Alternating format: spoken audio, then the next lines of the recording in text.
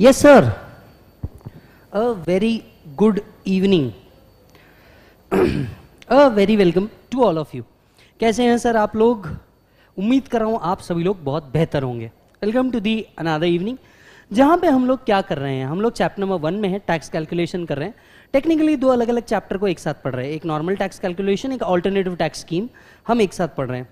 Last lecture के अंदर में हम लोगों ने क्या किया था? मालिक अगर आपको याद हो तो लास्ट लेक्चर के अंदर में हम लोगों ने ऑल्टरनेटिव टैक्स स्कीम चालू किया था वेर इन हम लोगों ने alternative tax scheme for the purpose of बोलो बेटा alternative tax scheme for the purpose of individual H U F AOP BOI AJP को हमने क्या कर दिया था? खत्म कर दिया था। से यस बराबर है? सो so, आज हम लोग बात करने जा रहे हैं आज हम लोग बात करने जा रहे हैं अदर अल्टरनेटिव टैक्स स्कीम्स की। आज हम लोग बात करने जा रहे हैं अदर अल्टरनेटिव टैक्स स्कीम की। तो एक बार मेरे साथ वापस चलिए। कौन कौन से अल्टरनेटिव टैक्स स्कीम्स थे? चलो एक बार मेरे साथ वापस चलो। आपको अगर याद हो तो अल्टरनेटिव टैक्स स्कीम थे 115 B A C B A A B A B B A D B A E yes no तो अब हम लोग चल रहे हैं नेक्स्ट के ऊपर। अब हम लोग चल रहे हैं कोऑपरेटिव सोसाइटी के ऊपर। ठीक है? अब हम लोग चल रहे हैं कोऑपरेटिव सोसाइटी के ऊपर। कंपनीज़ जो है, ये सबसे लास्ट में लूँगा मैं। तो कोऑपरेटिव सोसाइटीज का पहले हम लोग कुछ रिविजन कर लेते हैं और फिर आपको बताते हैं। पहले थोड़ा सा हिस्ट्री में लेकर के चलता हूँ। सबसे पहले कोऑपरेटिव सोसाइटी का जनरल टैक्स सिस्टम क्या था? आप याद करो पहले 10,000 पे 10 percent next 10,000 20 percent and the balance 30 percent yes उसके ऊपर सरचार्ज रेट क्या था? जल्दी से बताओ। उसके ऊपर अपना surcharge rate was seven percent and twelve percent और इसके बाद हमारा एच e था फोर परसेंट ये सॉर्टेड है। अब कोऑपरेटिव सोसाइटीज के लिए क्या किया गया? सबसे पहले ऑल्टरनेटिव टैक्स स्कीम लेकर के आया। Point to be noted point number one ये सिर्फ़ रेसिडेंट कोऑपरेटिव सोसाइटीज के लिए लेके आया। ठीक है? सो so, पहले रेसिडेंट कोऑपरेटिव सोसाइटीज के लिए ऑप्शन लेकर के आया। ऑप्शन ला करके बोला दैट कोऑपरेटिव सोसाइटीज जिनके ऊपर एवरेज टैक्स रेट 30 परसेंट आता है इसको रिड्यूस किया गया। Right right? कोऑपरेटिव्स को ये बेनिफिट क्यों दिया जा रहा है? पहले समझिए। That has got a very good logic देखिए, ये जो कोऑपरेटिव मूवमेंट्स चालू हुए थे और बाद में कोऑपरेटिव सोसाइटीज फॉर्म हुई कोऑपरेटिव सोसाइटी एक्ट बना which means to provide a benefit to such class और classes of people who are not generally regulated ये उन लोगों के लिए था जो रेगुलेटेड नहीं है। उन लोगों के लिए कोऑपरेटिव सोसाइटी या कोऑपरेटिव मूवमेंट्स के थ्रू क्या किया गया? बेनिफिट्स लाए गए।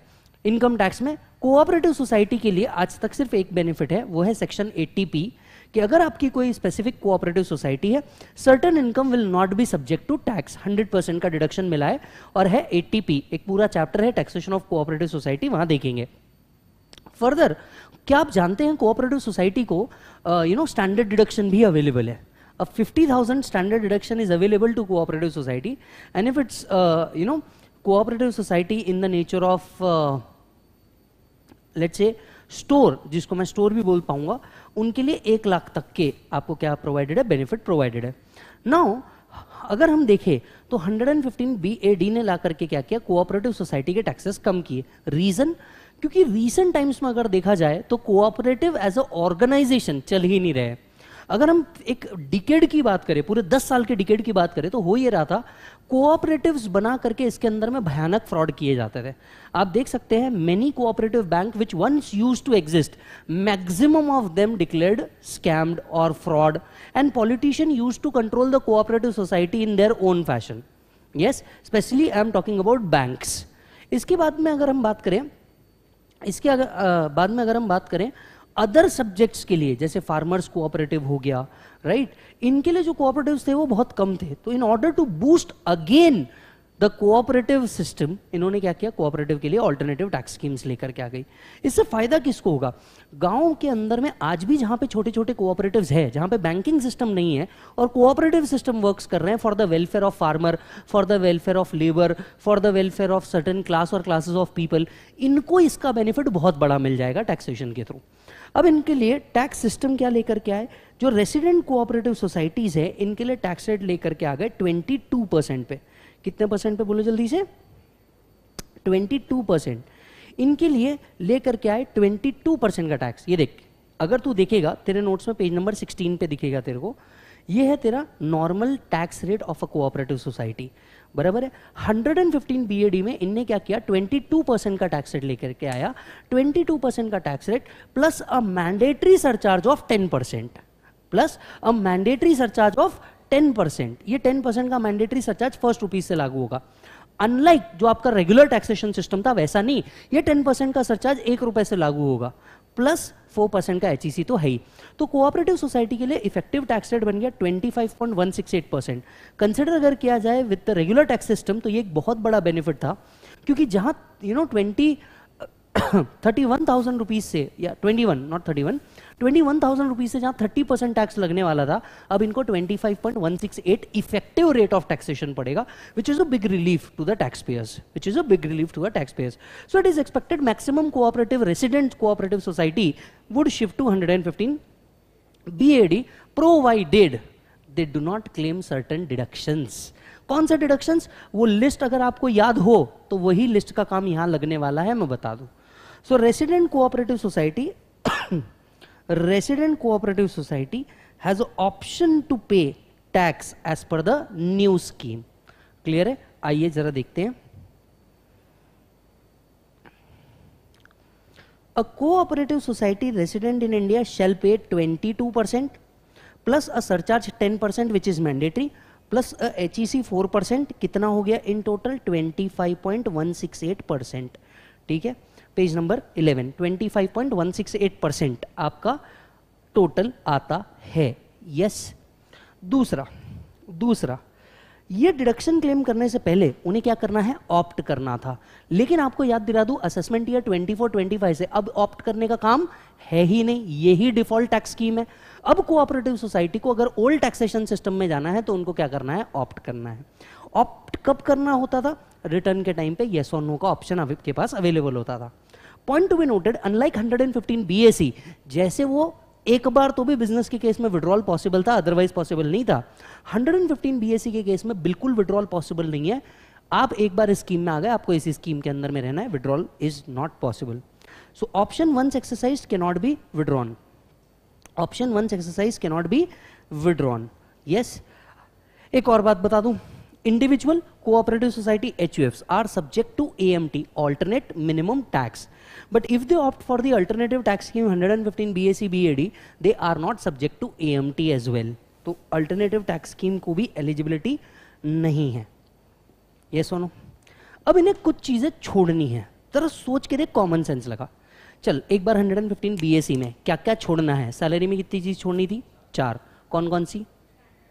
Deduction under section sixteen HRA leave travel 10 14 ten fourteen वाले जो चिल्लर children education allowance and all and food and beverages yes I guess हमने टेन फोर्टीन उस लिस्ट के अंदर में नहीं लिखा है बट वो भी एक है। बराबर है? वो भी एक है। टेन फोर्टीन वाली जो चिल्लर है children education allowance children hostel allowance वो भी छोड़नी है। तो वो एक लिखिएगा दूसरा HP एक काम करो हंड्रेड एंड फिफ्टीन बी में पहले चल जाओ। वहाँ पे allowances under section ten fourteen भी डाल दो सैलरी में। ये यहाँ। ये यहाँ। एच के बाजू ऑब्लिक कर सकते हो। Oblique allowance under section ten fourteen children education allowance children's hostel allowance वो वाले। बराबर है? चलो। एचपी में आईओबीसी पीजीबीपी में पाँच याद करके देख additional depreciation specified business thirty five triple C thirty two A D thirty three A B thirty three A B A section thirty five clear capital gain no loss I F O S में family pension अब मैं तेरे से कुछ पूछना चाहता हूँ। अगर हम कोऑपरेटिव सोसाइटी की बात कर रहे हैं, यहाँ सैलरी आ सकती है? सैलरी के सब बाजू कर दो। H P I O B C आ सकता है? Generally answer is no because उनके ऑब्जेक्ट क्लॉज में लिखा होता है excepting for the purpose of lending तो एच पी का भी नहीं आता, उसको भी बाजू कर दो। ये सुनो जनरली एचपी का नहीं आता, उसको भी आप क्या करो, बाजू कर दो। पीजीबीपी के सारे deduction as it is common रख लो। स्पेसिफाइड बिज़नेस का डिडक्शन नहीं लेंगे एग्रीकल्चर एक्सटेंशन का नहीं लेंगे 32 एडी नहीं लेंगे 33 एबी 33 एबी है साइंटिफिक रिसर्च नहीं लेंगे। कैपिटल गेन में तो आता ही नहीं। आईएफओएस का फैमिली पेंशन भी आता नहीं। तो फैमिली पेंशन भी पिक्चर से गायब करो। मैं तुम्हारा माइंड मैप कर रहा हूँ, जरा समझना। उस पूरी लिस्ट में जो इंडिविजुअल के लिए बनाई थी, उसमें सैलरी तो कोऑपरेटिव सोसाइटी के लिए आती ही नहीं। तो वो बाजू कर दो। एच आता नहीं, बाजू कर दो। पीजीबीपी आएगा। कैपिटल गेन आता ही नहीं। आईएफओएस में से फैमिली पेंशन वाला पार्ट था, वो भी हटा दो, क्योंकि कोऑपरेटिव्स को फैमिली पेंशन मिलता ही नहीं। फिर फिर याद करके देखो। एग्जामिशंस आते हैं इनको, उसकी लिस्ट रहेगी।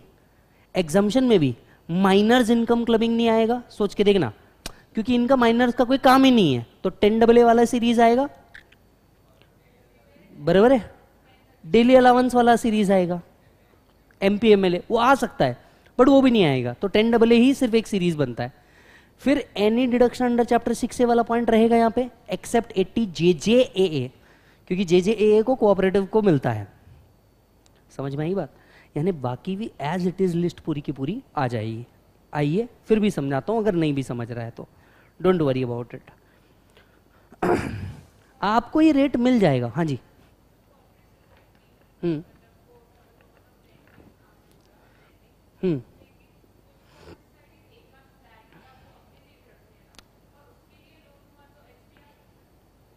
बिल्कुल आ सकता है। हमने बोला जनरली नहीं आएगा।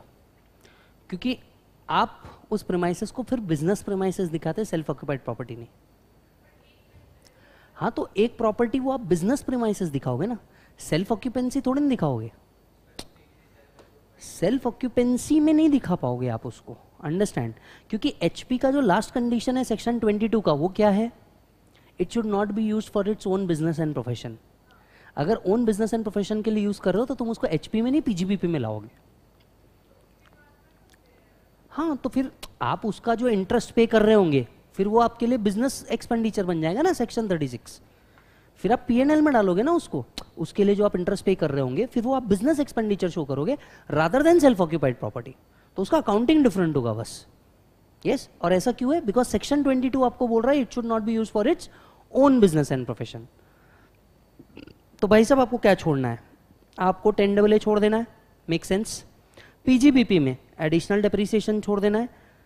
और देख लो 32 AD 33 AB 33 AB 33 35 triple C 35 35 AD provisions of chapter six double A except लिख सकते हो आप 80 जे जे ए ए क्योंकि 80 जे जे ए ए जो है, ये आपको मिल सकता है। बराबर है? अच्छा बताइए, इनसे आने वाला कोई लॉस होगा? या अनएब्जॉर्ब डेप्रिसिएशन होगा? क्या वो सेट ऑफ़ हो पाएगा? नहीं। क्या वो कैरी फॉरवर्ड हो पाएगा? नहीं। समझ में आ रही बात सभी को? हाँ या ना? Yes yes? बताइए डेप्रीसिएशन क्लेम कर पाएँगे? यस डेप्रीसिएशन क्लेम कर पाओगे? एडिशनल डेप्रीसिएशन क्लेम कर पाओगे? No no. समझ में आई बात? चलो आओ। सेक्शन 115 बी ए डी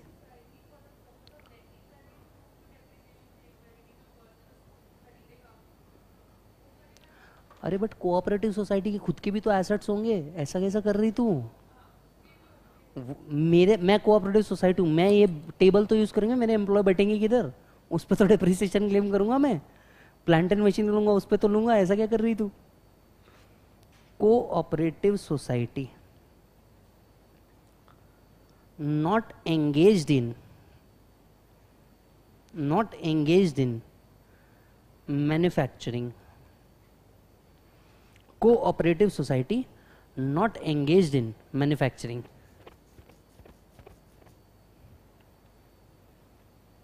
बराबर है? असेसी कौन होना चाहिए? Assessee is a resident highlight this cooperative society other than covered under section 115 BAE. 115 BAE is a new section for cooperative engage in manufacturing. Everybody.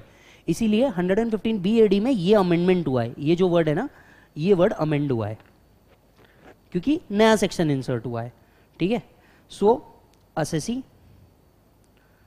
tax rate what is the tax rate tax rate is 22 percent plus surcharge at the rate of 10% plus HEC at the rate of 4%, effective rate 25.168%.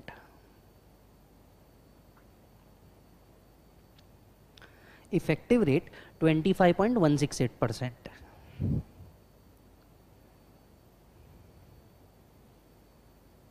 with effect from 1 4 2024 that is assessment year 24 25 this is bolo beta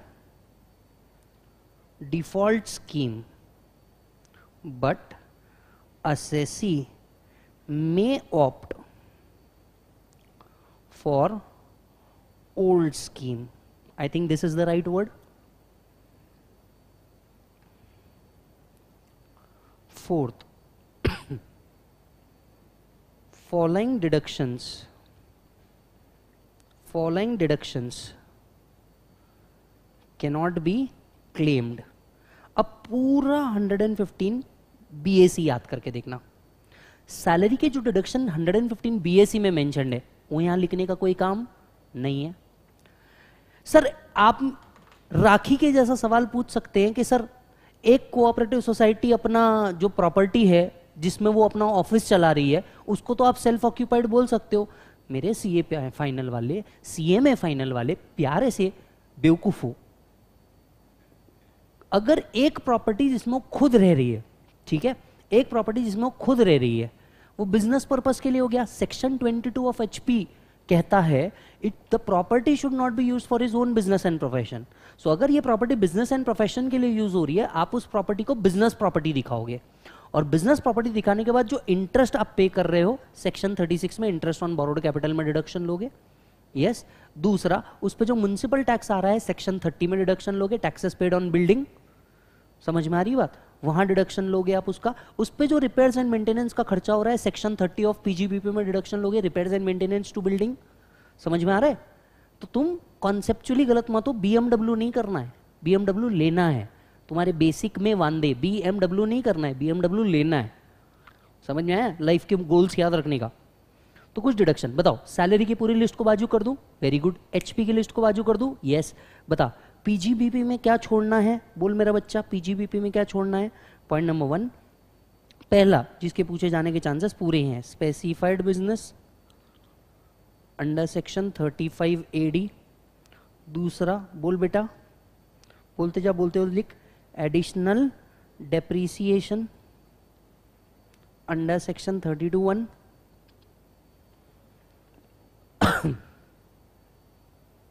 deduction under section 32 AD 33 AB 33 ABA ये तीसरा वाला तो आप नहीं भी याद रखो तो भी चलेगा ये बहुत स्पेसिफिक है फोर्थ चौथा याद रखना है deduction under section 35 scientific research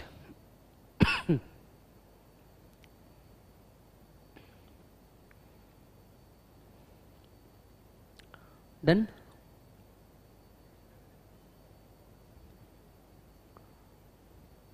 deduction under section 35 ccc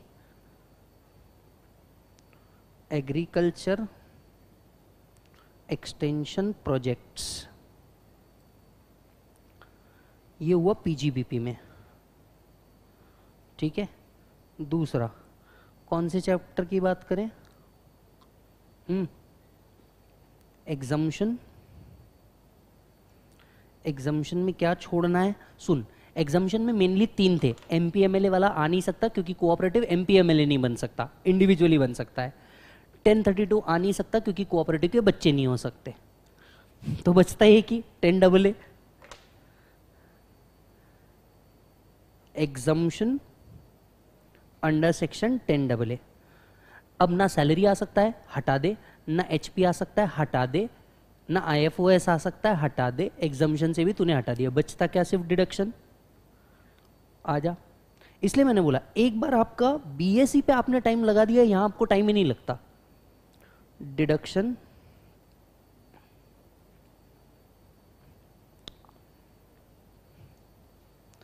any deduction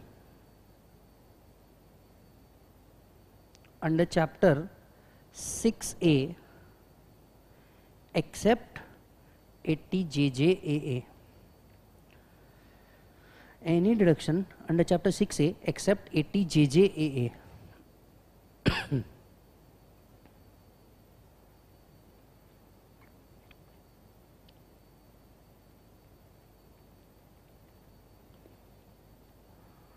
done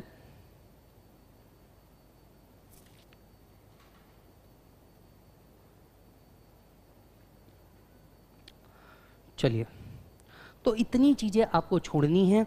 अगर आप रेसिडेंट कोऑपरेटिव सोसाइटी हैं तो आप 25.168 परसेंट भरिए और काम खत्म कीजिए।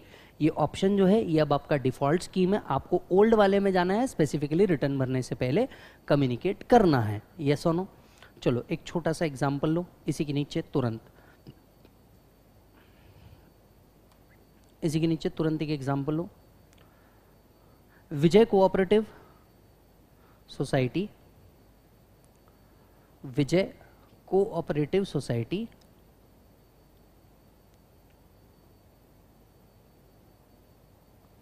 is engaged in Vijay Cooperative Society is engaged in business and generated an income of generated an income of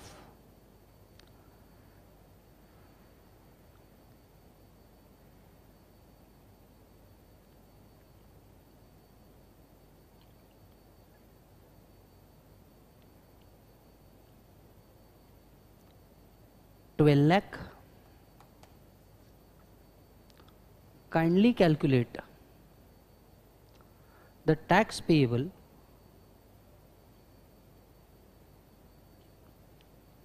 kindly calculate the tax payable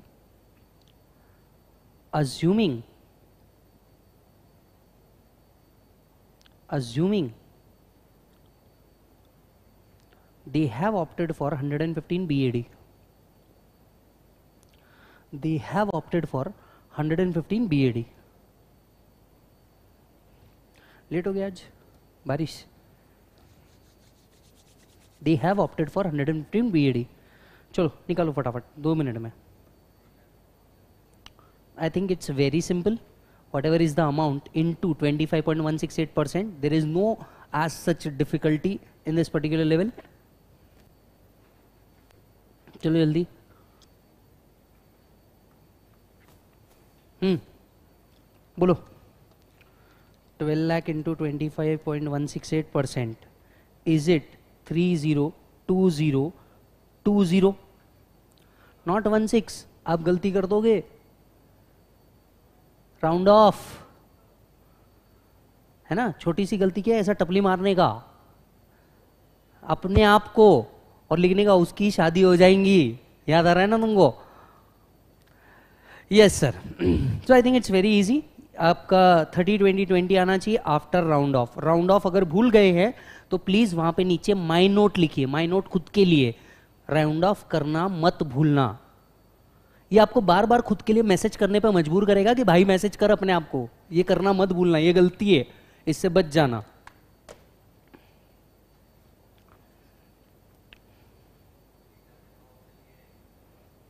हाँ, हाँ। हाँ. ऑब्वियसली एग्ज़ाम में एमसीक्यू में आया, दो ऑप्शन तो इसी के बन जाते, बचे हुए दो इधर उधर जाते ये सुनो चलिए, अब एक नया सेक्शन ऐड हुआ है 115 बी ए ई जो cooperative society engage in manufacturing के लिए लाया गया है। अगर आप देखेंगे, मैंने चैप्टर नंबर वन में इसे कवर नहीं किया हुआ है, जानबूझ करके, यहाँ पे सिर्फ़ एक चार्ट दे दिया, नीचे देखो। यहाँ पे नीचे सिर्फ़ एक चार्ट दे दिया 115 बी ए ई का। इससे रिलेटेड जो पूरा डिस्क्रिप्शन पार्ट है, वो मैंने टैक्सेशन ऑफ़ कोऑपरेटिव में रखा, क्योंकि वो वहाँ का अमेंडेड पार्ट है। पर हाँ उसका टैक्सेशन पार्ट हम इधर ही समझेंगे, ध्यान से सुनना। 115 B A B right sir ऐसी कोऑपरेटिव सोसाइटी जो मैन्युफैक्चरिंग भी कर रही है। अब आपके मन में काफ़ी सवाल उठेंगे, सर, ऐसी कौन सी कोऑपरेटिव सोसाइटी होती है जो मैन्युफैक्चरिंग करती है? क्यों? शुगर कोऑपरेटिव्स जो सबसे ज़्यादा फ़ेमस है, साहेब, शरद पवार साहेब। ये सुनो। अमूल ने now now that's a company that's a old history जब वो कोऑपरेटिव रहा करती थी now that's a company right but आज भी अगर आप देखा जाए मैक्सिमम जो आपकी सुदगिरणीज होती है सुदगिरणी मतलब जो धागा बनाती है राइट right? या फिर जो शुगर कोऑपरेटिव्स होती है, वो राइट right? ये आज भी क्या करते हैं मैन्युफैक्चरिंग करते हैं। ये आज भी मैन्युफैक्चरिंग करते हैं। तीसरा तीसरा मैं आपको प्रोडक्ट दिलाता हूँ, याद। जो गृह महिला उद्योग होता है जो छोटे गृह महिला उद्योग होता है, जो क्या बनाते हैं, चटनी बनाते हैं, पापड़ बनाते हैं सैनिटरी पैड्स बनाते हैं, ये कोऑपरेटिव सोसाइटीज में होते हैं। आज भी which is engage into manufacturing which is engage into manufacturing जो पापड़, अचार, इस तरह के प्रोडक्ट बनाते हैं। तो इन लोगों की एक बहुत स्पेसिफिक डिमांड थी। और इनकी डिमांड क्या थी? इनकी डिमांड थी कि भैया, हम जो मैन्युफैक्चरिंग एक्टिविटी कर रहे हैं, आप एक तरफ़ बोल रहे हो make in India make in India make in India when we are actually making some product and contributing to GDP yes, even though we are not company, but at least we deserve the tax rate of company because we are also into manufacturing. Yes or no? तो उन्होंने क्या किया? उन्होंने बोला, देखिए, आपने company के लिए मैन्युफैक्चरिंग के लिए 15 परसेंट टैक्स रेट लाया। हमारे को भी 15 परसेंट एक्सटेंड करो. तो सरकार ने इस बार सोचा कि यार, ये बात तो सही कह रहे हैं। Even though they are not into the form of company cooperative has its own added advantage companies में क्या होता है? See why a person will shift to cooperative rather than company has got two very strong reason reason one no companies act compliance companies act compliance are really stringent. Only company secretary, i don't know how they understand that particular law. इतने बार meeting कर meeting का notice दे minutes बना all that particular hell जो हम law के अंदर में पढ़ते हैं. दैट्स वेरी कॉम्प्लिकेटेड यार. अपने लिए जितना डी कॉम्प्लिकेटेड है उनके लिए भी कंपनी लॉ उतना कॉम्प्लिकेटेड है now situation arises is company law के दुनिया भर के कंप्लायंस कर क्वार्टर के अंदर में बोर्ड मीटिंग बुला एनुअली एजीएम बुला इतना कोऑपरेटिव में दिमाग ही नहीं लगता एक एजीएम गेम ओवर तो it is very easy to transact the business without much compliance. Are you getting the point? It is very easy to transact the business rather than much compliance. So they demanded from the finance minister that please you give the tax rate which is given to company engaged into manufacturing. So company के manufacturing rate यहाँ दिए है। Now is that a possibility सोच करके देखना। Is that a possibility a cooperative society is engage in manufacturing as well as generating income from other than manufacturing activity let let me tell you an example मान लीजिए एक cooperative society है sanitary pads बना रही है। ठीक है? ऐसा भी किसी ने सैनिटरी पैड्स बोला। कम ऑन इट्स नॉर्मल ठीक है? अपन सबके घर में लेडीज़ है। तो कम ऑन फोकस करना इस कॉन्सेप्ट पे। Right right? स्पेसिफिकली जो यूट्यूब पे देख रहे हो वाले। ध्यान से सुनना। अब जो सैनिटरी पैड्स बना रही दैट्स अ मैन्युफैक्चरिंग एक्टिविटी ठीक है? लेकिन ऐसा भी तो हो सकता है कोऑपरेटिव सोसाइटी के गोडाउन रेंट पे दियो तो रेंटल इनकम जनरेट कर रहा है। अब लॉजिकली तुम सोच करके बताओ on the manufacturing activity you completely agree that you provide 15 percent as a tax rate but those income which are not from manufacturing activity इनको 15 परसेंट का रेट मिलना चाहिए क्या? नहीं। They should be tax at 22 percent which is applicable to normal cooperative as of now 115 BAD 22 percent effectively 25 don't go for that effective tax rate उनके लिए भी फिर 25 ही होना चाहिए। देखो 115 बीएई में क्या किया। I think now it will be very clearly able to understand that जो कोऑपरेटिव मैन्युफैक्चरिंग में है, उनसे मैन्युफैक्चरिंग एक्टिविटी से आने वाली income that will be effective rate 17.16 percent wherein 15 percent is the tax rate 10 percent is mandatory surcharge mandatory surcharge from one rupees unlike individual जहाँ 50 लाख से ऊपर चालू हो रहा है। मैंडेटरी सरचार्ज एक बात याद रखें, जितने भी न्यू टैक्स स्कीम है, इन सब में सरचार्ज मैंडेटरी है। इन सब में सरचार्ज मैंडेटरी है। 115 बीएससी एक एक्सेप्शन है, जहाँ पे सरचार्ज नॉर्मल तरीके से लग रहा है। Otherwise 115 B A A B A B B A D B A E इन सब में सरचार्ज मैंडेटरी है। तो यहाँ पे 10 परसेंट का सरचार्ज ला दिया, चार परसेंट का cess effective tax rate comes to 17.16 किसी को लग रहा है कैलकुलेटर में कर लेना। 15 प्लस बोलो बेटा। प्लस 10 प्लस फोर मत करना कैलकुलेटर फेंक के मारूँगा। 15 प्लस 10 परसेंट प्लस चार परसेंट सेवनटीन समझ में आया कैसे आया इफ़ेक्टिव टैक्स रेट तो all those cooperative society which is engage in manufacturing activity उनके ऊपर 17.16 effective tax rate manufacturing activity के अलावा जो उनकी इनकम आ रही है अदर एक्टिविटी से, वो क्या आ जाएगी? सीधे सीधे 25.168 परसेंट नाउ एक डिफिकल्टी प्रैक्टिकल डिफिकल्टी मैं तुमको समझाऊं क्या होगा?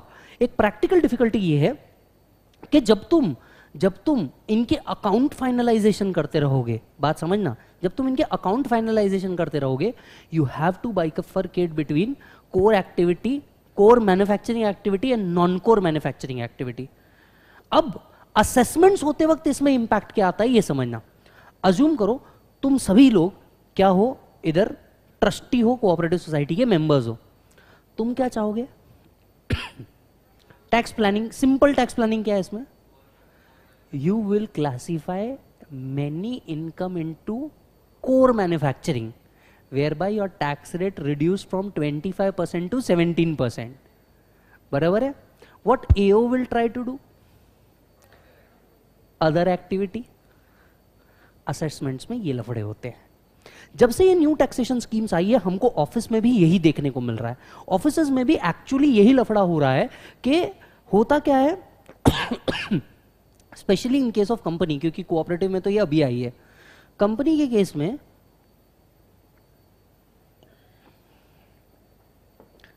कंपनीज़ के केस में we have to make a justification that this is from manufacturing activity this is not from manufacturing activity in fact एक क्लाइंट के केस में उन्होंने क्या रोक दिया था मालूम?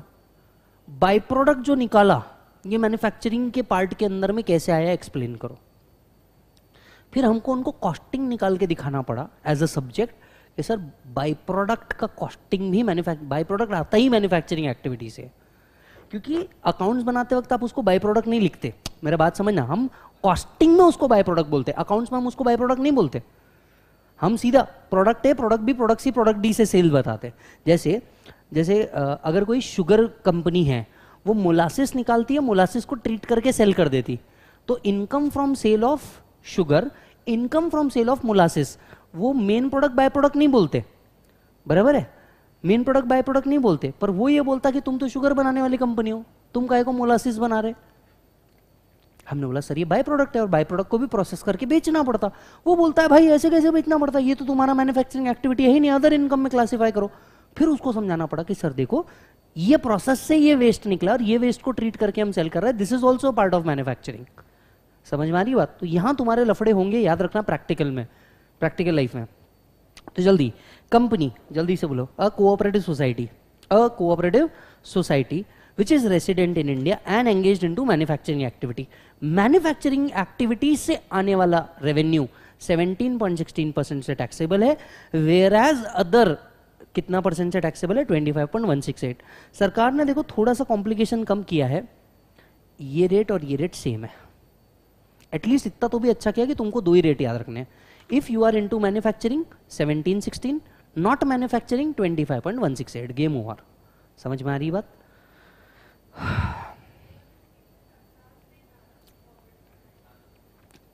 था ना बच्चे? Twenty two plus ten plus four तब जाके तो effective one twenty five one one six eight आता ओल्ड स्कीम में सेवन एंड ट्वेल्व परसेंट था। नहीं, वहाँ पे एक करोड़ और दस करोड़ का लिमिट था। इसीलिए हम बोल रहे हैं ना, जो सरचार्ज वाला है, वो सिर्फ़ न्यू स्कीम में मैंडेटरी है। ओल्ड स्कीम में है ही नहीं। समझा? हम्म। चलो आओ।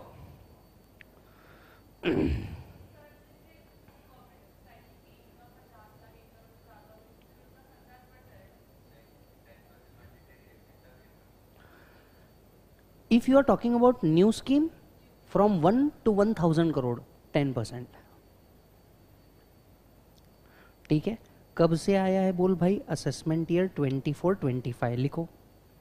ये मैं यहाँ लिखवा रहा हूँ, पर इसका डिटेल वर्ड्स जो है, ये आपको चैप्टर कोऑपरेटिव सोसाइटी में, क्योंकि वहाँ से भी इसका कुछ लिंक्ड है। ठीक है? 24 25 assessee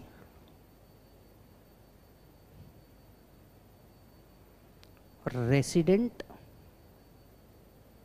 cooperative society resident cooperative society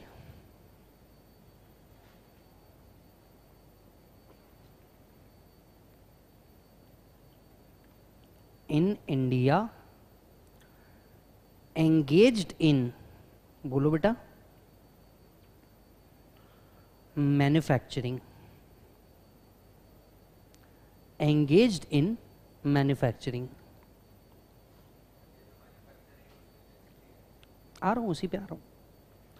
अब आप ये पूछेंगे what is manufacturing what is not manufacturing इतना तो डीप में हमको जाना पड़ेगा ना bro what is manufacturing understand R K Marbles marbles में सबसे बड़ा नाम इंडिया का।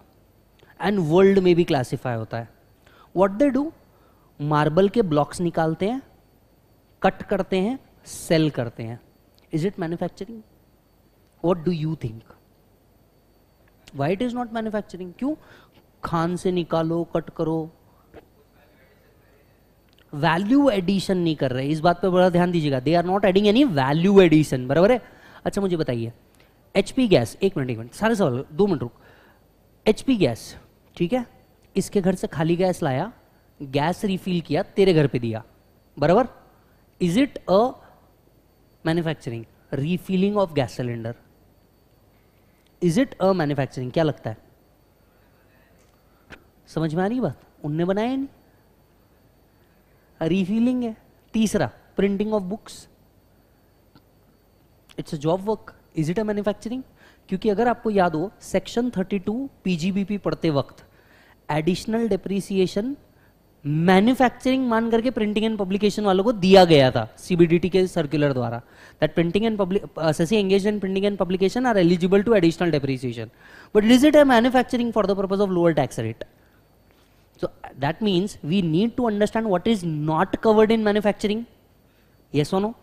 तो उन्होंने मैन्युफैक्चरिंग एक्सप्लेन नहीं किया, पर उन्होंने ये एक्सप्लेन कर दिया what is not a manufacturing तो उन्होंने ये एक्सप्लेन नहीं किया व्हाट इज़ मैन्युफैक्चरिंग पर उन्होंने ये एक्सप्लेन कर दिया what we will not consider in manufacturing that is the most simplest thing they have done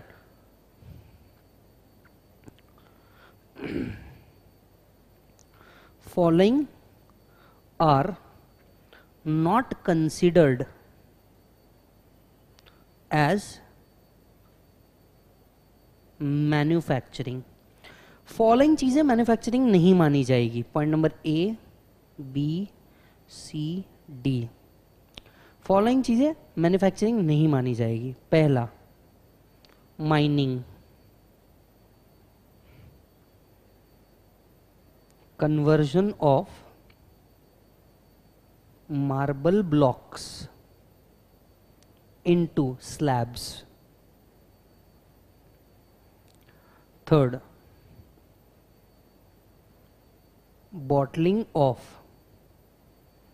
gas into cylinder.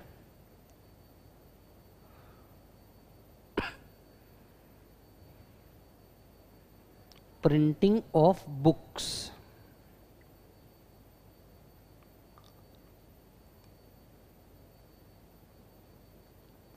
Production of cinematographic film. Production of cinematographic film.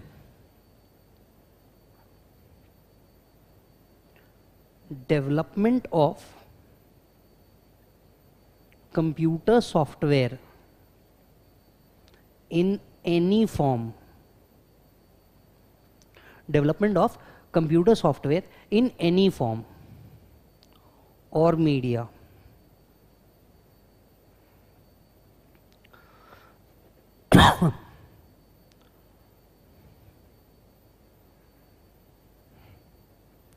any other business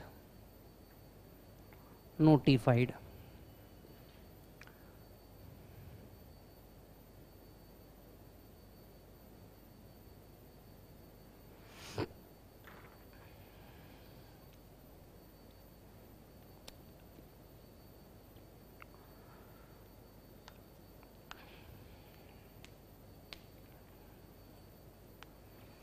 Is this done?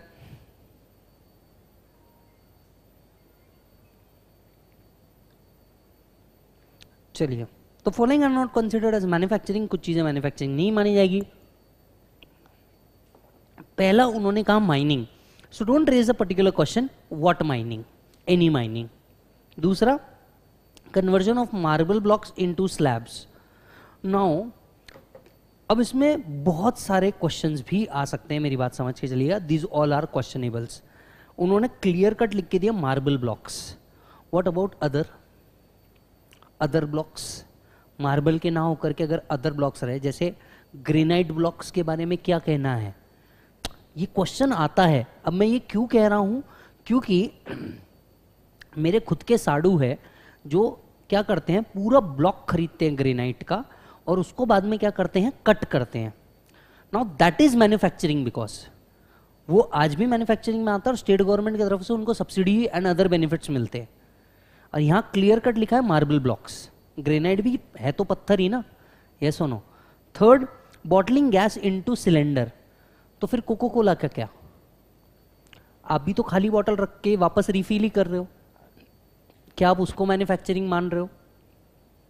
These all are questionable but these are clarity which is given by government हम इसको नहीं मानेंगे। Which means बाकी सब manufacturing में आ गया without any question तो आपने फिर दिमाग ही नहीं लगाने का। भैया, क्या पेप्सी और कोको कोला मैन्युफैक्चरिंग कर रहे हैं? कर रहे पर एचपी सिलेंडर कर रहा है?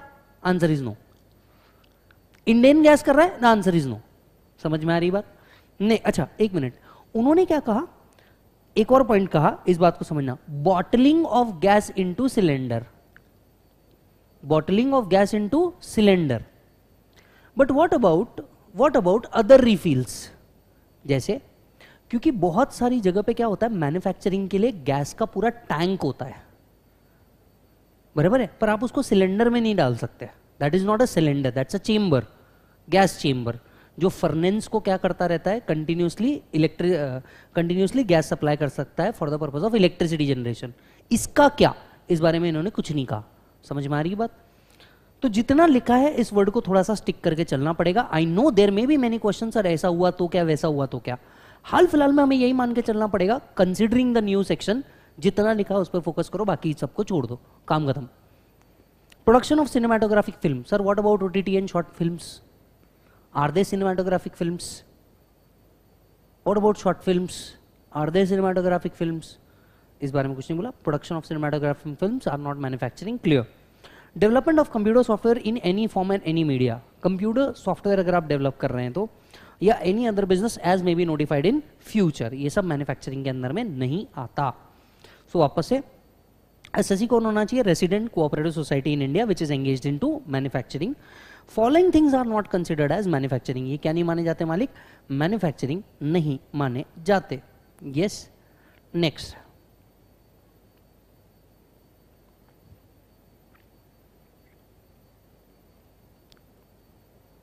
third tax rate क्या टैक्स रेट है? मैं नहीं बता रहा। बताओ, तुम ही क्लैरिफाई करो। Out of income out of manufacturing activity 17.16 percent, which comprises 15 percent of tax plus 10 percent of बोल बेटा surcharge plus 4% of HEC everybody. Yes. Other activity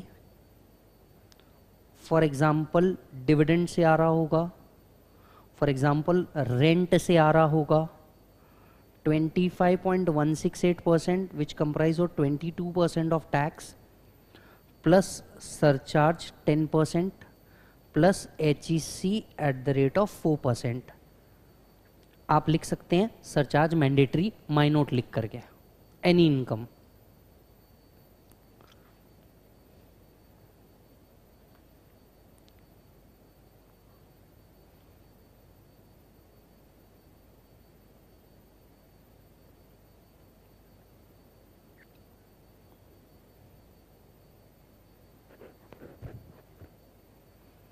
done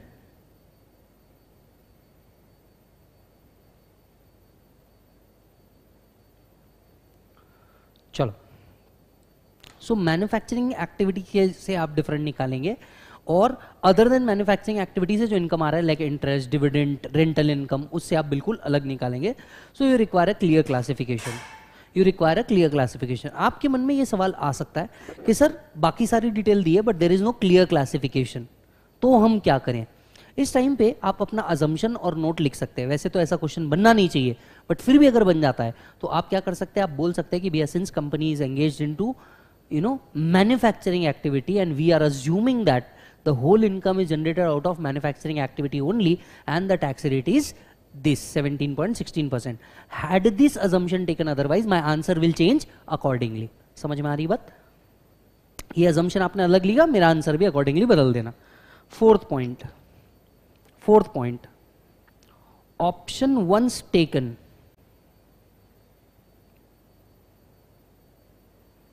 cannot be withdrawn एक बार जो आपने कमिटमेंट कर दी, फिर आप अपने आप की भी नहीं सुन सकते।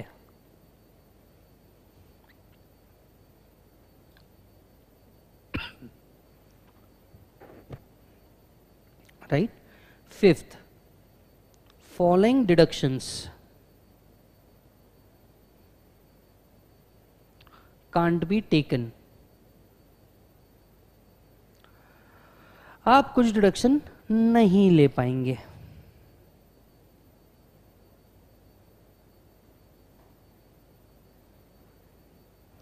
नहीं नहीं नहीं नहीं, मैं काय को लिखूँगा? मैं तो यहाँ पे आके पेस्ट करूँगा ना. हाँ हम भी ऐसा एज सेम एज लिख दो same as 115 B A D shortcut he use करना है. Same as 115 B A D सारे वही as it is cut copy paste six yes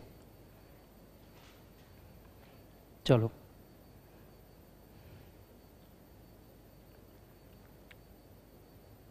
This option needs to be taken before filing ITR for assessment year 24-25. So 24-25 will be the first year जब ये option आप select करेंगे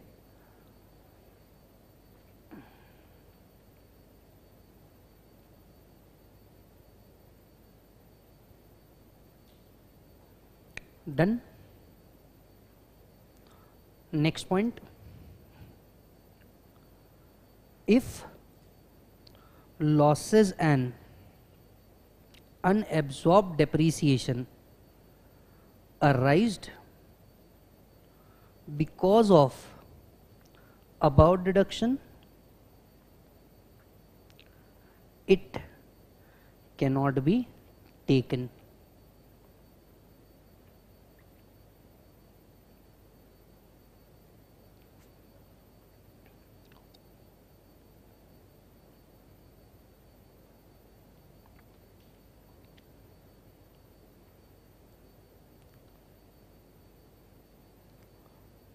done?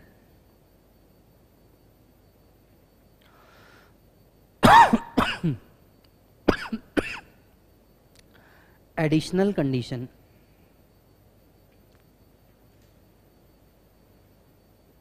Additional condition ये important है. Additional condition ये important है. इसका tax rate important है. Additional condition. Please check.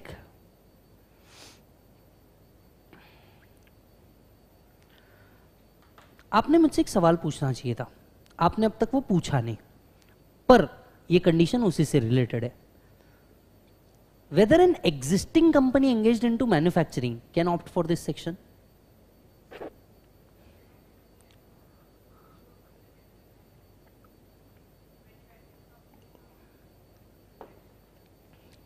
सोच करके हाँ या ना जवाब देना। Whether cooperative society which is already engage in to manufacturing will be eligible for this particular section yes और नो येस और नो आंसर इज़ नो सोचिए कितना कॉम्प्लिकेशन बढ़ा देता टैक्स लेवल पे। डिपार्टमेंट लेवल पे बहुत बड़ा कॉम्प्लिकेशन बढ़ा देता। बिकॉज़ जितनी भी कोऑपरेटिव सोसाइटी है, जो ऑलरेडी मैन्युफैक्चरिंग एक्टिविटी में है उनको आप सीधा सीधा क्या दोगे? 115 बीएडी ये जो सेक्शन है, इसका इंप्लीमेंटेशन ही असेसमेंट ईयर 24 25 से आ रहा है which means the company must be registered on और after first April 2023 then and only then the company will get the benefit of this section but sir फिर ये तो गलत है ना? मतलब जो कंपनी ऑलरेडी जो कोऑपरेटिव मैं बार बार कंपनी बोल रहा हूँ आई एम सॉरी जो कोऑपरेटिव पहले रजिस्टर्ड हुई, उनको तो आप ऐसा कुछ बेनिफिट ही नहीं दे रहे हो। As of now they don't have any benefit उनके लिए एग्जिस्टिंग बेनिफिट ही है, तीस परसेंट से उनका टैक्स सिक्स एट परसेंट पे ला दिया। उनको ये वाले सेक्शन का बेनिफिट अभी नहीं दे रहे कि आप पंद्रह पे आ जाओ। बट आई एम श्योर वो इसकी डिमांड ज़रूर करेंगे भारतीय सरकार के पास कि हमको भी इस सेक्शन को एक्सटेंड करो। As of now there is no circular no notification the benefit of this section will also get extended to existing cooperative society engage in manufacturing activity they don't have it all together क्योंकि अगर उनको ऐसा करना था there was no need to bring a new section वो existing section में ही amendment कर देते। कोई ज़रूरत ही नहीं थी उनको ये सेम सेक्शन लाने की। अगर आप देखोगे तो वो सेम 115 बीएडी में भी क्या कर सकते थे? अमेंडमेंट कर सकते थे। They have a clear intention as of now पुरानी जाना है बीएडी में जा, नई वाली चुपचाप इधर आ जाए तो ओल्ड टैक्स में जा। समझ में आ रही बात? So cooperative must be registered, cooperative must be registered on or after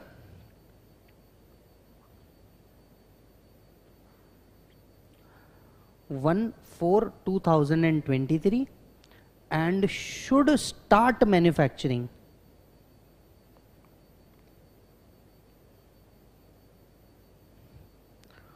on or before 31st March 2024 please इस लाइन को दो बार पढ़ें आप 100% परसेंट मिसअंडरस्टैंड इंटरप्रिटेशनल मिस्टेक करने की गलती कर सकते हैं। They are not saying cooperative must be registered between 23 three twenty four they are saying cooperative must be registered on और after 23 but manufacturing must start before 24 four I you getting the point but that's a complete nonsense ask me why if a cooperative is registered on one four two thousand twenty four then what this section, does this section makes any any any sense to you? The answer is no. So again lawmaker ने यहाँ 100 percent mistake की है। उनने सीधा सीधा ये लिखना था that manufacturing must start within one year from the date of registration समझ में आएगा अगर उनको ये कंडीशन लगानी भी थी वर्ड लिखते वक्त इनने क्या लिखना चाहिए था? One year from the date of registration यहाँ लॉ मेकर का मिस्टेक है जो वो अमेंड करेंगे। देखना आप कंफर्म करेंगे। क्योंकि अगर कोऑपरेटिव फिर एक चार दो हज़ार चौबीस से रजिस्टर्ड है दैट दिस सिंपली मीन्स या तो ये सेक्शन ही एक साल के लिए आया है, बाद में चल के इसको बीएडी के साथ मर्ज कर देंगे, या तो फिर इनको वर्ड अमेंड करने पड़ते इसके अलावा कोई ऑप्शन ही नहीं है इनके पास। Point number B point number B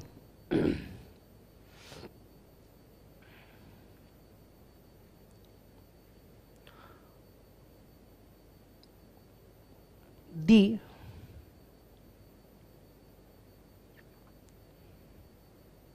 business. Must not be started from the business must not be started from splitting up or reconstruction.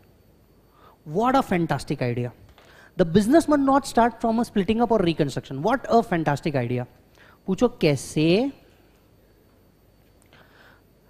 had you been an advisor to cooperative society in this case what you would have done you would have suggested a cooperative society split your business into manufacturing and non-manufacturing. Non-manufacturing तो वैसे भी 25 25.168 percent है। You be in 115 BAE और you be in 115 BAD क्या फ़र्क पड़ने वाला है? तो वो बोलते थे मैन्युफैक्चरिंग को 15 पे डाल दो नॉन मैन्युफैक्चरिंग को बीएडी में डाल दो। क्या फ़ायदा हो जाएगा? Average tax of the cooperative will come down वो तो सीधा सीधा यही करते थे।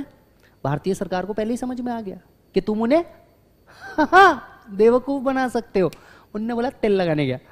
Cannot be done by splitting up और reconstruction it should be a new cooperative reconstruction भी पॉसिबल नहीं. नहीं तो तुम क्या करते थे? दो cooperative society merge into another cooperative society मतलब अगर सोच करके देखो मेंबर्स सेम होंगे, दो कोऑपरेटिव सोसाइटी के वो तो सीधा सीधा मर्ज करके एक नया कोऑपरेटिव सोसाइटी रजिस्टर्ड आफ्टर 2023 ना स्प्लिटिंग अप से चलेगा, ना रिकंस्ट्रक्शन से चलेगा. Fantastic words third again to promote manufacturing it should not use plant and machinery previously used.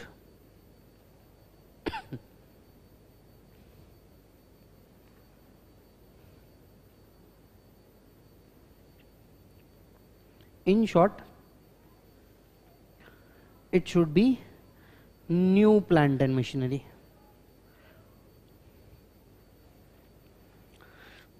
additional condition लाइए सिर्फ़ इस सेक्शन के लिए। मैन्युफैक्चरिंग करवाना चाह रहे हैं तुमसे। मैन्युफैक्चरिंग एक चार दो हज़ार तेईस के बाद शुरू होनी चाहिए। मतलब कोऑपरेटिव रजिस्टर्ड एक चार दो हज़ार तेईस के बाद होना चाहिए। मैन्युफैक्चरिंग उसका 2024 से पहले होना चाहिए। दूसरा condition it is not form by splitting up और रिकंस्ट्रक्शन तीसरा it should not use plant and machinery previously used मतलब जो प्लांट एंड मशीनरी तुम मैन्युफैक्चरिंग के लिए यूज़ करने वाले हो, ये न्यू प्लांट एंड मशीनरी होनी चाहिए। वैसे ये कंडीशन आप पहले भी पढ़ चुके हैं। ये कंडीशन आप पहले भी पढ़ चुके हैं। एडिशनल डेप्रिसिएशन के टाइम पे, याद आ रहा है क्या? बराबर है? आप ये बचपन में भी पढ़ चुके हैं। पर दो चीज़ें इसके एक्सेप्शन में थी, याद करके देखो। The plant and machinery will be treated as new situation one if it is an imported plant and machinery तुम इंडिया से सेकेंड हैंड खरीदो, उसे न्यू नहीं माना जा रहा। है फॉरेन से सेकेंड हैंड लेके आओ, उसे न्यू माना जाएगा। बात समझना। इंडिया वाली सेकेंड हैंड नहीं चलेगी फॉरेन वाली सेकेंड हैंड भी चल जाएगी मशीनरी बात समझ रहे हो तुम? दूसरी चीज़, अगर अगर जो प्लांट एंड मशीनरी तुम एक्वायर कर रहे हो it is not exceeding the twenty percent of the total plant and machinery तो इसको भी हम क्या मान लेंगे? New plant and machinery understand करना इस मीनिंग को. सपोज़ कीजिए आप 100 करोड़ के प्लांट्स एंड मशीनरीज लेके आ रहे हो, जिसमें से 19 करोड़ इंडिया में ही एक्वायर किए second hand whether the second hand plant and machinery exceeding the 20 percent of overall plant and machinery answer is no बोलती है, इतना उतना चलेगा. तो 20 परसेंट तक के सेकेंड हैंड चलेगा of the total value of plant and machinery फिर वो इंडिया से आए या आउटसाइड इंडिया से आए, बात समझ लेना। तो plant and machinery must be new इसके दो एक्सेप्शन है। एक्सेप्शन नंबर वन फॉरेन से अगर आप लेकर के आ रहे हो, कहाँ से लेकर आ रहे हो? फॉरेन से अगर लेकर के आ रहे हो it will be considered as one point number two plant and machinery plant and machinery if it is not exceeding the twenty percent of the overall plant and machinery समझ में आई बात? तो इसको भी हम क्या मान लेंगे न्यू। वो बोलेंगे, इतना उत्ता चलता है। ये इतना उत्ता कितना रखा है? बीस परसेंट रखा है इन्होंने। फर्दर लिखिए। Following plant and machinery. Shall be considered as new. Point number one.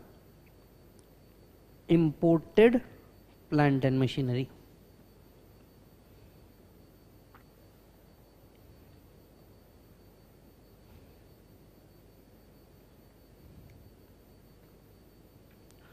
For which no depreciation was allowed in India. B.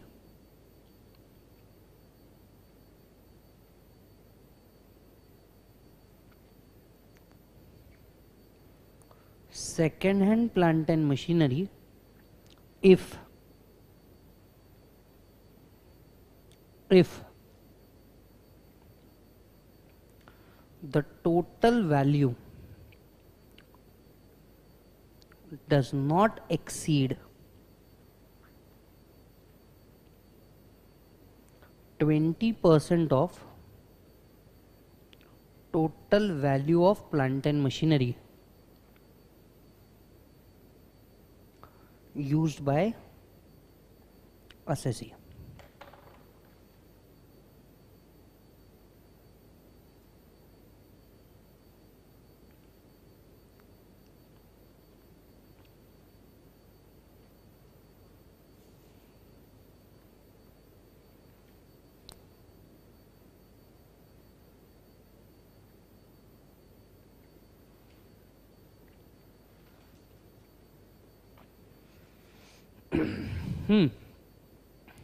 Is it done चलो एक बार रिवाइज करते हैं पूरा, शुरुआत से।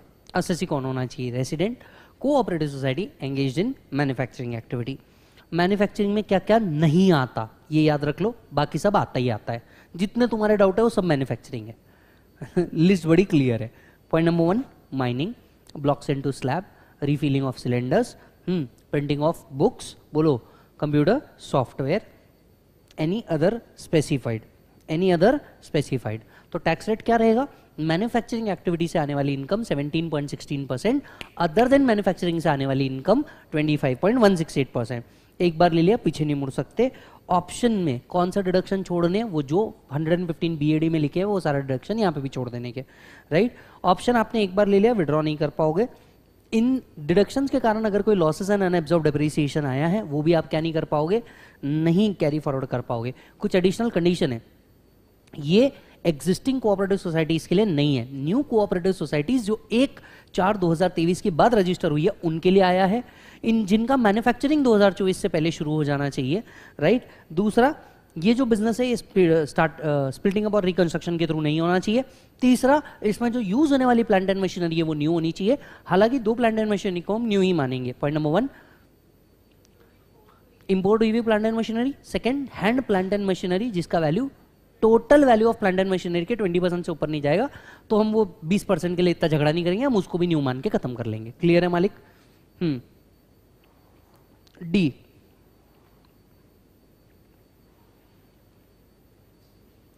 not engaged in any business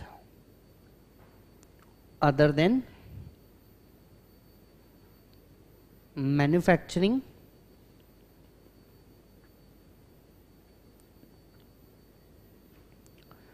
Not engaged in any other business other than manufacturing.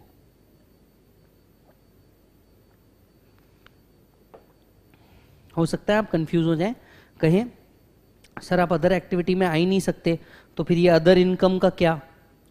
They are not manufacturing activity income come on they are investment income dividend हो गया house property का रेंट हो गया, ये तो वैसे भी मैन्युफैक्चरिंग है ही नहीं तो वो तो वैसी कंडीशन से बाहर हो जाता। समझ में आ रही बात? आप कोई और बिज़नेस में नहीं होंगे अपार्ट फ्रॉम मैन्युफैक्चरिंग समझ में आ रही बात? सो मान लीजिए, कम कोऑपरेटिव जो इस सेक्शन का बेनिफिट ले रही है, फिर वो service provider as a cum cooperative नहीं हो सकती इस सेक्शन के अंदर में। क्लियर कट है? अगर ऐसा कुछ है भी तो फिर उसको सेपरेट पार्ट ऑफ़ बिज़नेस मानना पड़ेगा। चलो कोऑपरेटिव से रिलेटेड ये सेक्शन खत्म हुए ऐसे कैसे खत्म हुए कुछ सवाल है आपसे और। Point number one is generation of electricity a manufacturing activity is generation of electricity manufacturing activity answer is yes additional depreciation में भी था, यहाँ पे भी है, इसमें कहीं कोई डिस्प्यूट नहीं है। इसमें कहीं कोई डिस्प्यूट नहीं है। यस और नो अच्छा जी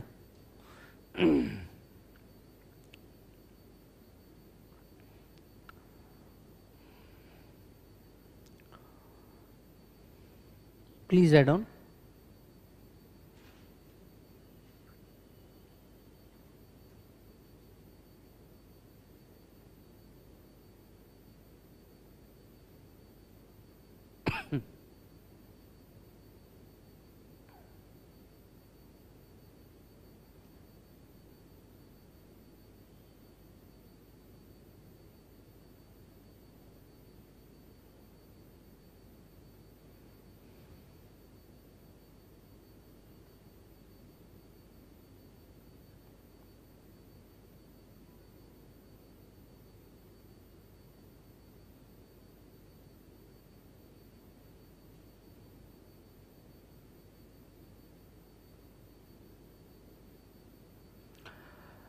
एक पॉइंट है जो असेसमेंट से रिलेटेड है बट मैं यहाँ पे आपको एक्सप्लेन कर रहा हूँ।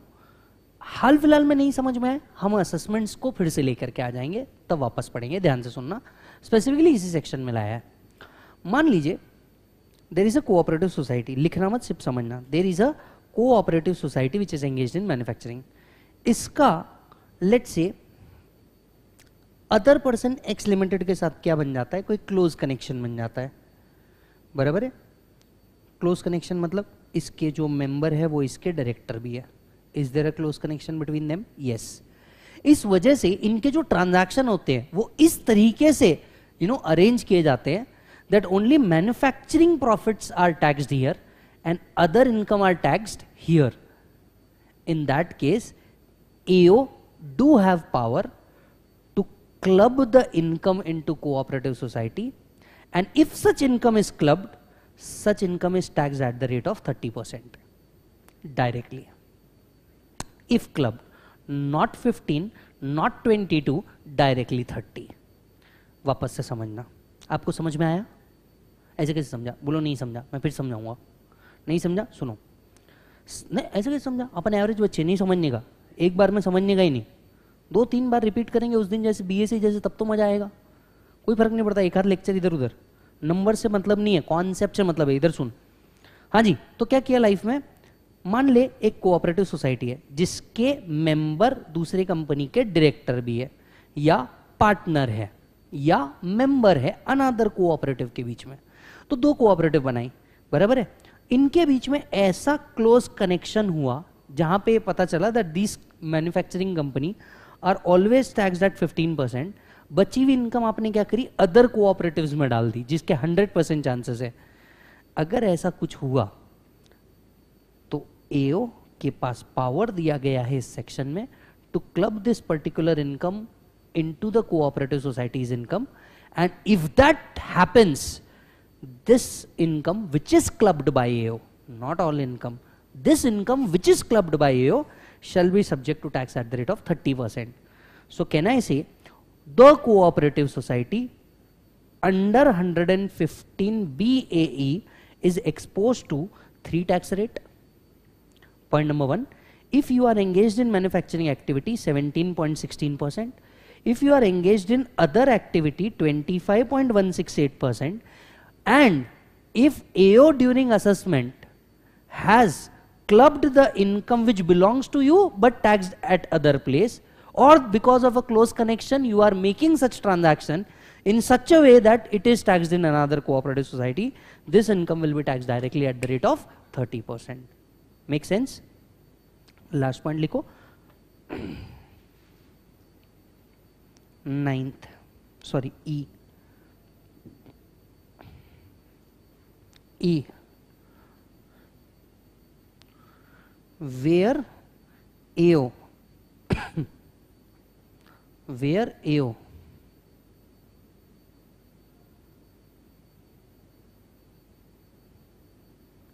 came across a transaction.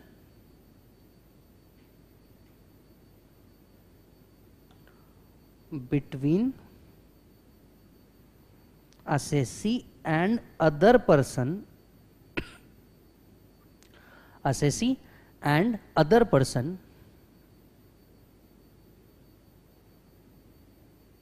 where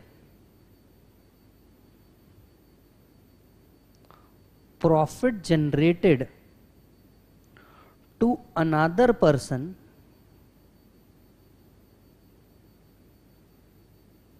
generates more than ordinary profit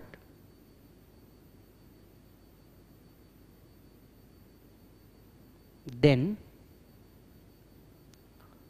then EO can club the additional income? AO can club the additional income? And such income shall be taxed at the rate of 30%. such income shall be taxed at the rate of 30%.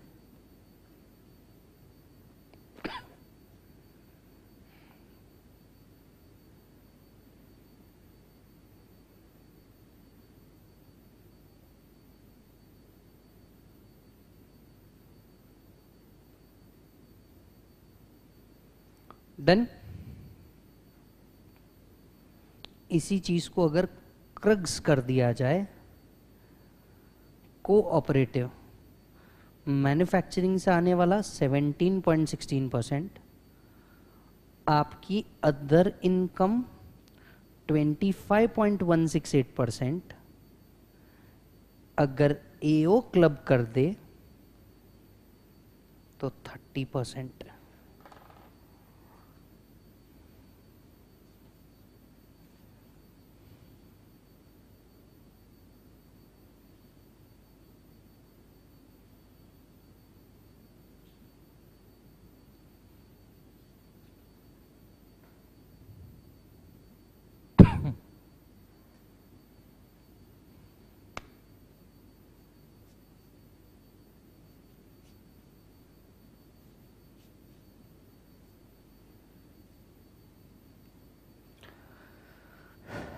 Is it done खत्म।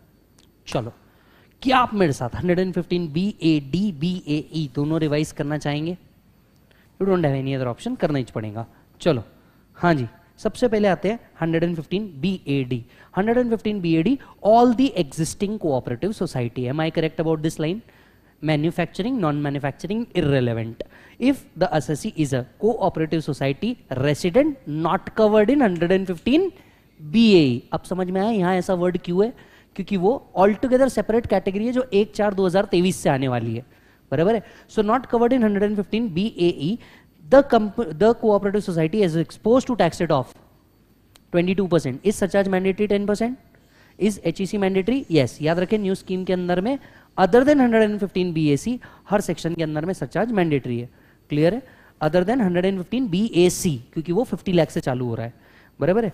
तो वो 50 लाख से चालू हो रहा है। तो वो मैंडेटरी है। Yes next with effect from 1 four 2024 with effect from 1 four 2024 this section is a default section हालाँकि आप कुछ डिडक्शन नहीं ले पाएँगे। मैं इस लिस्ट को आपसे हाइड कर रहा हूँ।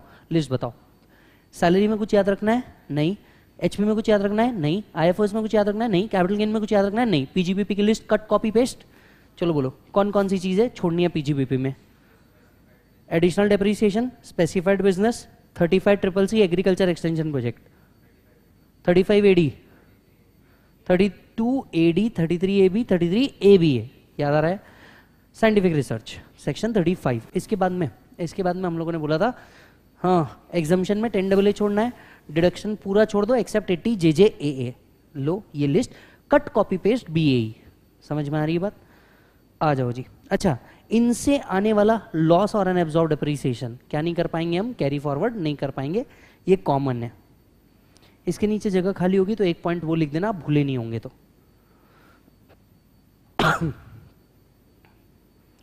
Losses and unabsorbed depreciation because of above cannot be set off or carried forward.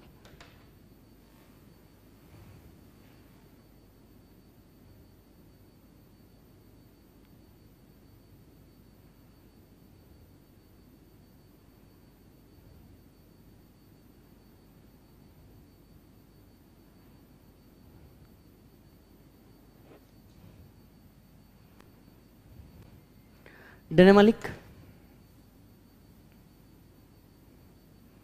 चलो।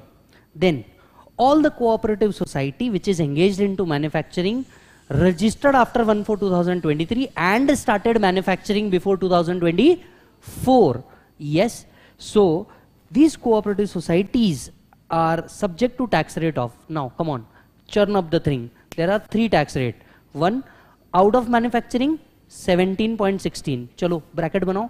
Fifteen percent ten percent four percent other than manufacturing activity other than कौन सी इनकम भाई dividend HP investment income yes 25.168 percent तीनों club करो 22 10 and 4 if AO ने income club कर दी because of your close connection transaction 30 percent clear है मालिक अच्छा जी इसके बाद हम लोगों ने देखा था कमॉन एवरीबडी इसके बाद हमने देखा था ऑप्शन एक बार ले लिया चाहे बी में ले लिया या बे में ले लिया आप ये ऑप्शन विड्रॉ नहीं कर सकते सारे डिडक्शन जो वहाँ पे भी नहीं लेने, यहाँ पे भी नहीं लेने।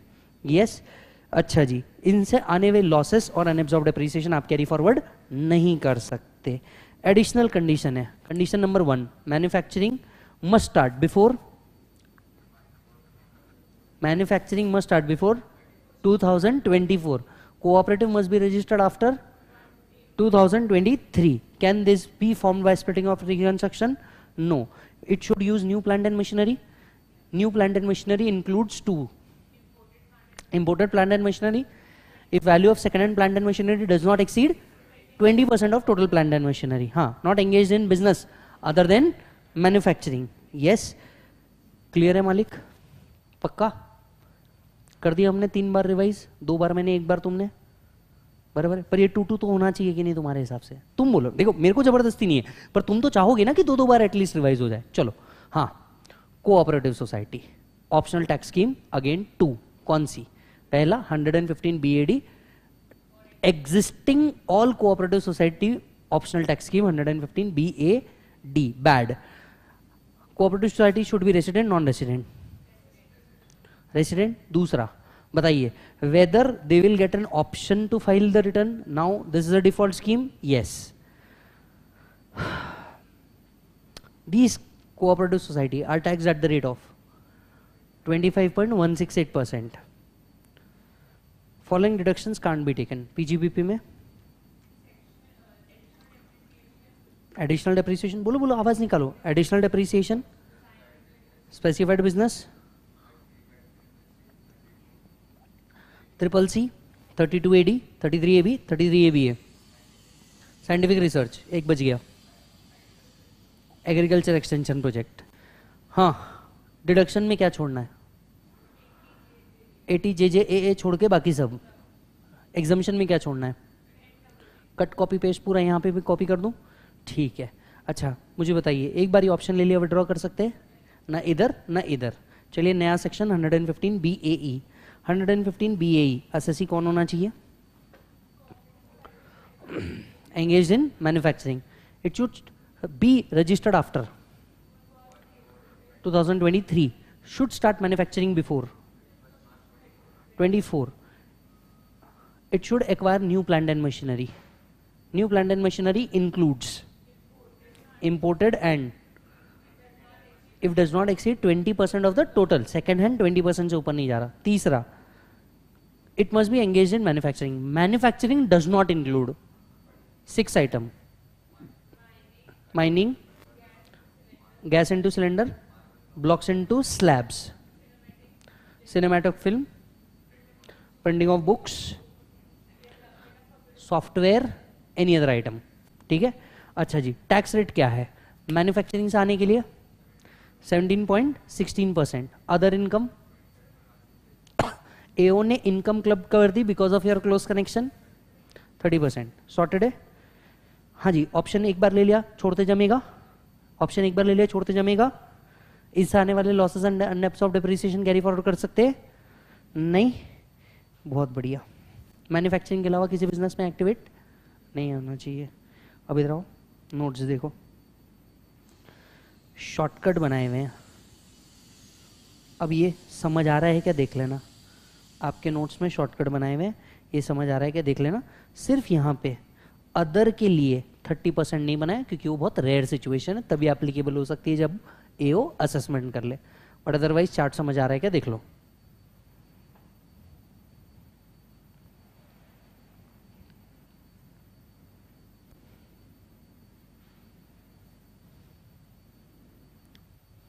ये सुनो हाँ। ये खत्म। आप देखोगे कोऑपरेटिव के लिए जनरल रेट ये थे। इस बार 115 बीएससी में नए रेट ये आ जाएँगे। ये सुनो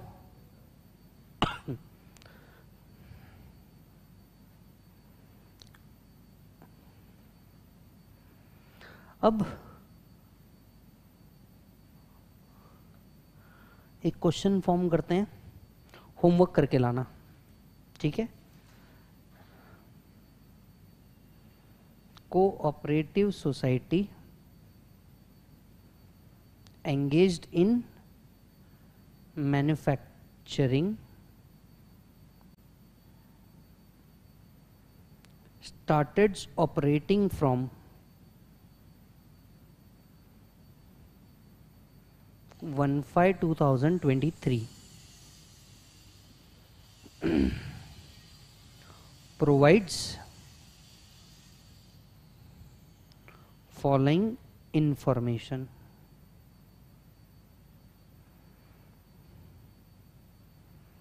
Income out of manufacturing activity 60 lakhs. Other income.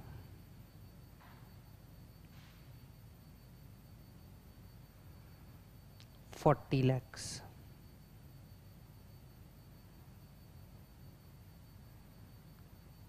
What is the tax liability under section 115 B A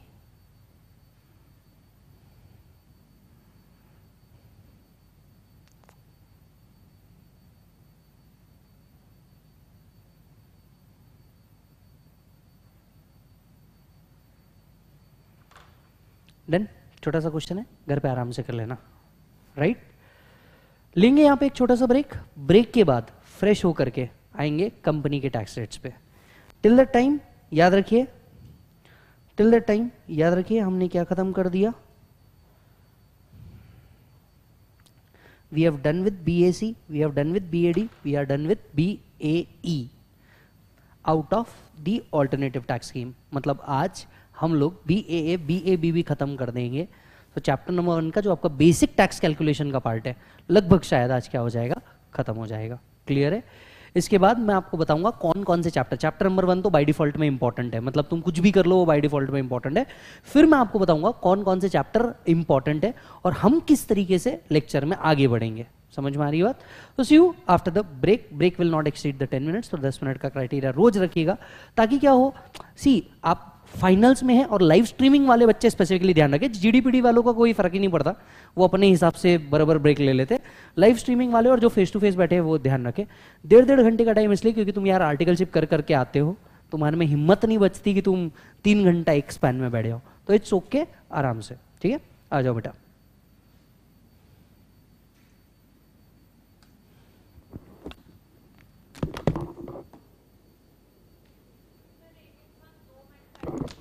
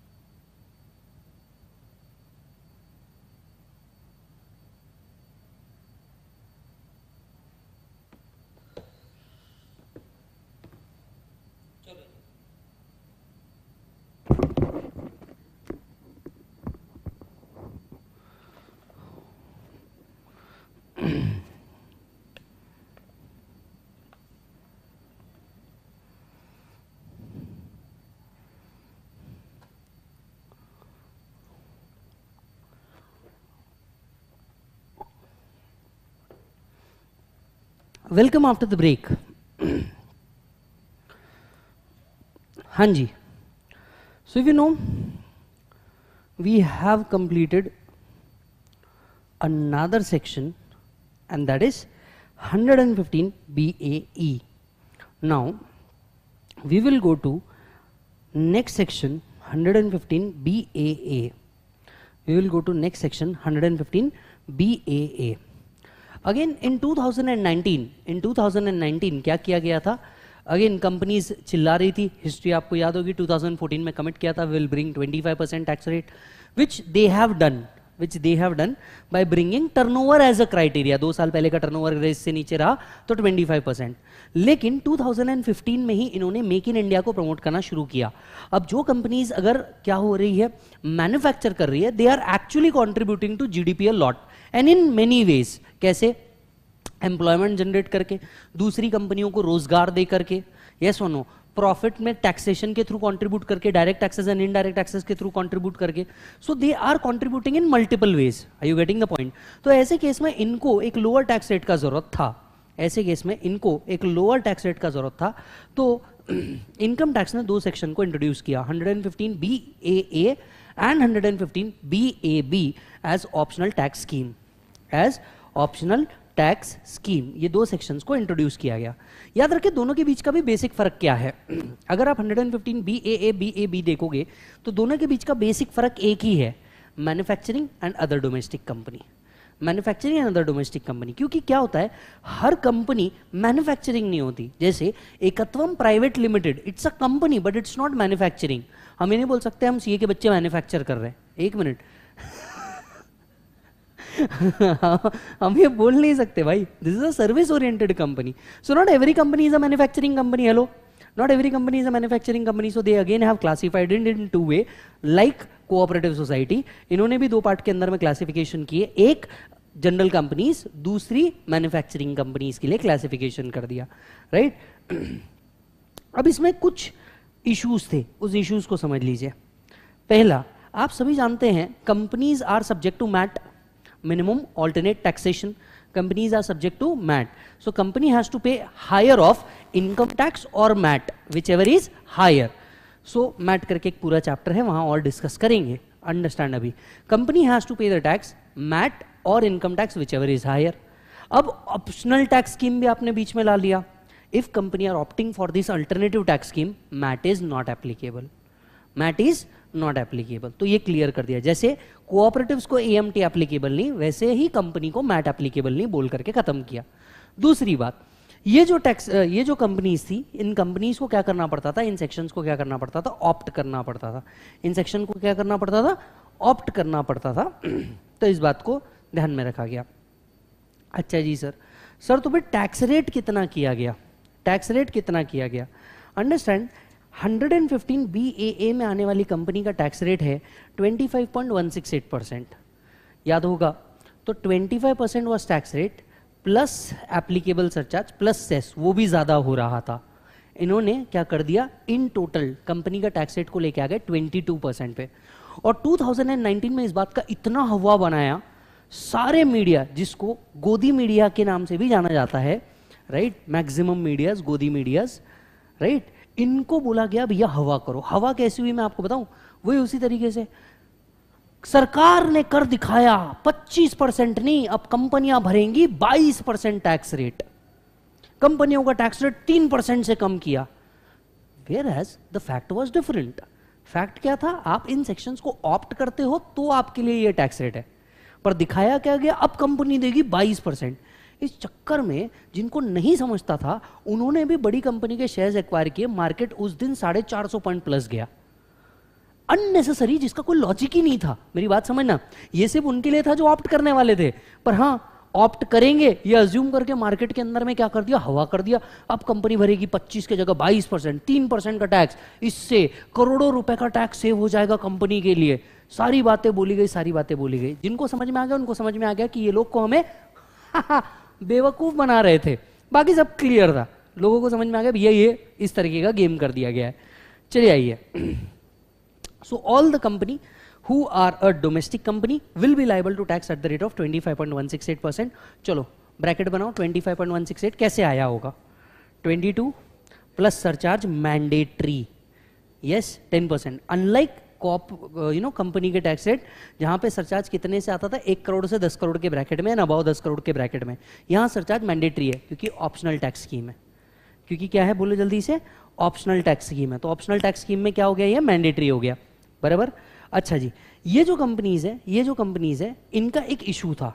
बहुत बड़ा इशू था। इस इशू को कैसे निर्मला सीतारमन जी ने हैंडल किया, समझना। अब ये कंपनी टैक्स पे करती थी, या तो मैट या तो tax whichever is higher pay अब अगर इन सेक्शंस के अंदर में इन्होंने ऑप्ट किया मतलब मैट एप्लीकेबल ही नहीं तो ये जितनी कंपनीज़ थी, ये आकर के चिल्लाने लग गई। ये बोली, भैया, हमारा मैट क्रेडिट इतने सालों से पड़ा है, उसका क्या? हमारा मैट क्रेडिट इतने सालों से पड़ा है, उसका क्या? ना व्हाट इज़ मैट क्रेडिट जिन्हें नहीं समझता, दो मिनट समझिए। अगर आपने मैट पे किया which is higher than income tax let से MAT is 15 and income tax is 10 तो you have to pay 15 five is available to you as credit जिसको आप अगले साल क्या कर सकते थे? सेट ऑफ़ अब वो कंपनी अगर 115 बीएससी ऑप्ट कर लेती थी तो वो प्रॉब्लम क्या था? मैट एप्लीकेबल ही नहीं। तो जो पाँच का क्रेडिट बच गया, उसका क्या? तो कंपनीज़ ने आकर के निर्मला सीतारमन जी से पूछा, निर्मला दीदी, ये बताओ, निर्मला दीदी, ये बताओ, वो पाँच का क्रेडिट जो मेरे पास पड़ा है, मैं उसका क्या करूँगा? निर्मला दीदी बोली मतलब मतलब मतलब? वो बोले, अरे दीदी, देखो, आपने टैक्स रेट कम लाया, ये बहुत अच्छी बात करी, पर दीदी, ओ दीदी, मेरे को एक बात बताओ उस मैट क्रेडिट को जो मैं इतने साल से कैरी फॉरवर्ड कर रहा हूँ MAT credit can be carried forward up to 15 years MAT credit जो मैं इतने सालों से कैरी फॉरवर्ड कर रहा हूँ, इसका क्या करूँ? ये बहुत ही ज़बरदस्त क्वेश्चन था। अगर निर्मला सीतारमन जी इसका गलत जवाब दे देती तो इनकम टैक्स को बहुत बड़ा लॉस हो जाता। वॉट अ क्लेवर लेडी उनने कहा, देखो, मैं इस सेक्शन में एंट्री की कोई डेट नहीं दे रही हूँ। Whenever you wish to तुमको ऐसा लगता है? Unabsorbed depreciation carry forward business loss जो इन सेक्शंस के कारण आया होगा। तुम पहले वो सेट ऑफ़ करो, उसके बाद इस सेक्शन में आना। तो ऐसा नहीं है कि इस सेक्शन में एंट्री करने का कोई डेट है। आप पहले वो खत्म कर लो, उसके बाद ही आओ। कंपनी शॉक निर्मला दीदी रॉक्स समझ में आया क्या किया निर्मला दीदी ने? क्योंकि कंपनीज़ बोल रही थी, भाई, मेरा इतने सालों का मैट क्रेडिट है, मेरा इतने सालों का बिज़नेस लॉस है मैं इसका क्या करूँ? निर्मला दीदी ने बोला, भाई, सुन there is no entry date whatever whenever you want to enter you enter नहीं तो 25 परसेंट तो मैंने तेरे को वैसे ही दे रखा है। तेरे को अगर 22 पे लाना है तो याद रखना, तू बाद में आके ये सब मत मांगना। ना तेरे को अनएब्जॉर्ब डिप्रिसिएशन ना बिज़नेस लॉस ना मैट क्रेडिट कुछ नहीं दूँगी। आना है, सब कुछ छोड़ के आना, सारे बंधन तोड़ के आना, फिर यहाँ आना। बराबर है? बाद में आके बोलेंगे, मेरे को तो पप्पा की याद आ रही, मेरे को तो मम्मी की याद आ रही। आई लाइक माई ब्रूनो यहाँ कुछ नहीं मिलेगा। यहाँ कुछ मिलने वाला नहीं है। याद रखिएगा इस चीज़ को। अच्छा जी सर। अच्छा जी सर। बताइए सेक्शन में आने के लिए क्या आपका मैन्युफैक्चरिंग में होना ज़रूरी है? Well the answer is no हाँ पर कंडीशन वही है, कुछ डिडक्शन ये क्लेम नहीं कर पाएँगे। कुछ डिडक्शन की लिस्ट भी लगभग सेम है। सो आइए, देखते हैं।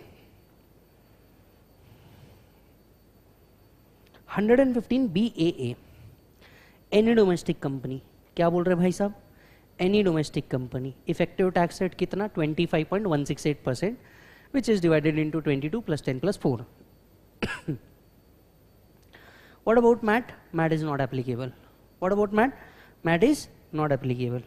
Yes. अच्छा जी sir special income is taxable at special rate plus ten percent surcharge plus four percent तो जो स्पेशल इनकम है उनके बारे में तो हम वैसी बात नहीं कर रहे special income will continue to be tax at special rate across everywhere what about other income? Hp ifos every income is taxed at the rate of 25.168 percent. Simple yes बताइए।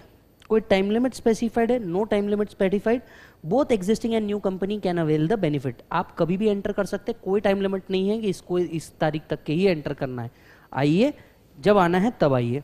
It need not to be a manufacturing और अ production company any company तो बताइए, Ekatvam private limited can opt for 115 B A A yes even though they are into educations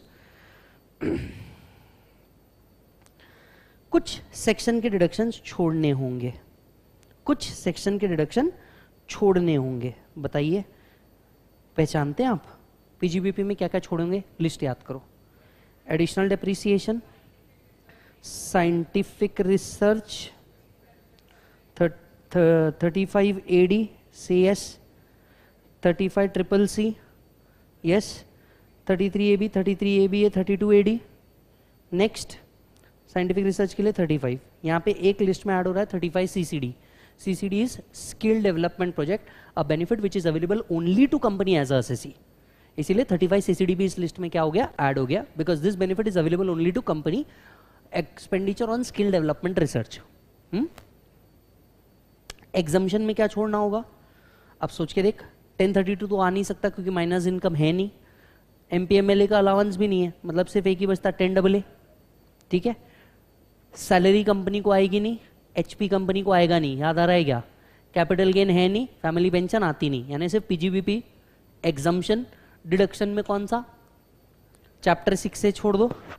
Except eighty except eighty I A to R R B जिसमें मुख्य तौर पे क्या क्या आता है? एट्टी एल ए आ जाएगा eighty J J A A आ जाएगा yes eighty J J A A आ जाएगा एट्टी एल ए आ जाएगा, मुख्य तौर पे ये। इनसे आने वाले brought forward loss and unabsorb depreciation carry forward हो सकते हैं? नहीं, बाकी सब कट कॉपी पेस्ट है। Depreciation can be claimed additional depreciation can't be claimed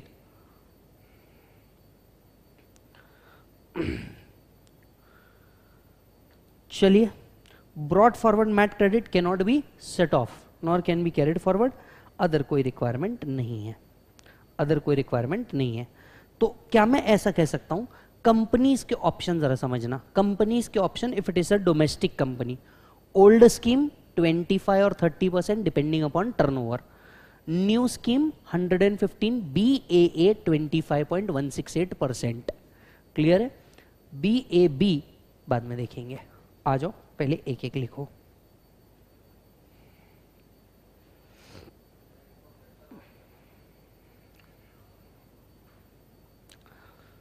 You know you have option in return so every time you need to file that column it's mandatory column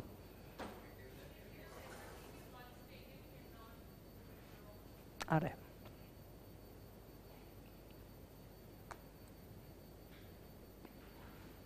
yes yes.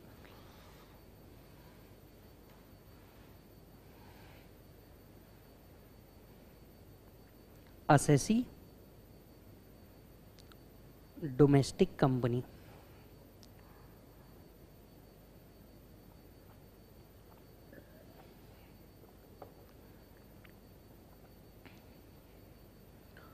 Tax rate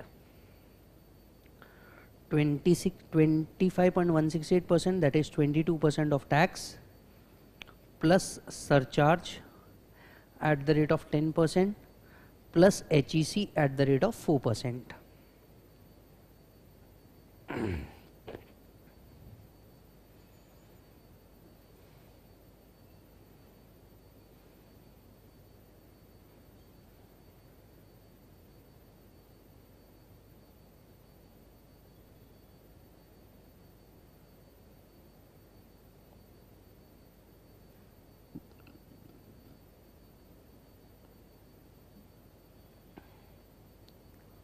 then third third special income taxable at special rate plus 10% surcharge plus 4% HEC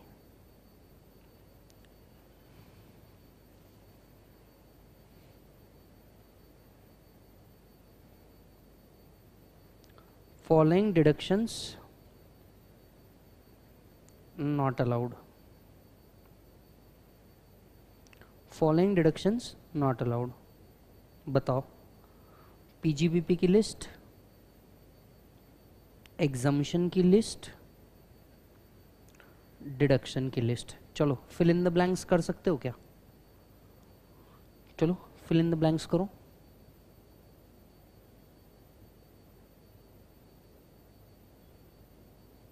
खुद पे भरोसा करो लिखो।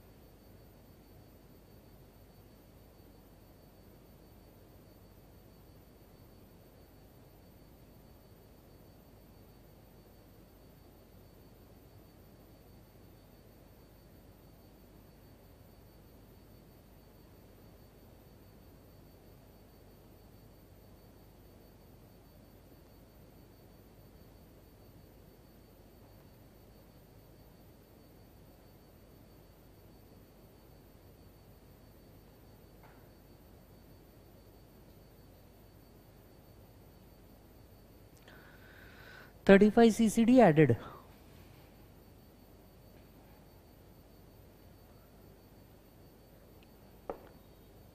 यहाँ पे ना deduction में एक और है। 80 एम 80 एम क्या है? 80 एम इज़ अ डिडक्शन आपने इंटर में नहीं पढ़ा होगा क्योंकि आया ही अभी अभी है। 80 एम इज़ 2020 से आया है। 80 M is a deduction which is available to company when it pays dividend so, if a company receives dividend and pays dividend receive dividend and pays dividend ATM का डिडक्शन मिलता है। So so, वो मिलते रहेगा इनको। तो यहाँ specifically क्या ऐड हुआ है? C C D has been added in your list A T M has been added in your list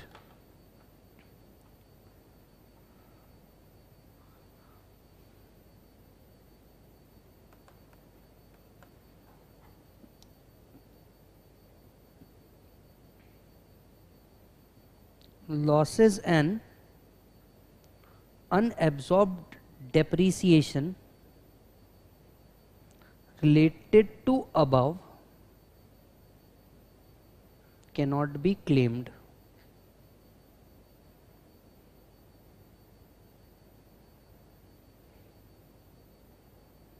MAT is not applicable. Hence, MAT credit cannot be used. MAD is not applicable, hence MAT credit cannot be used.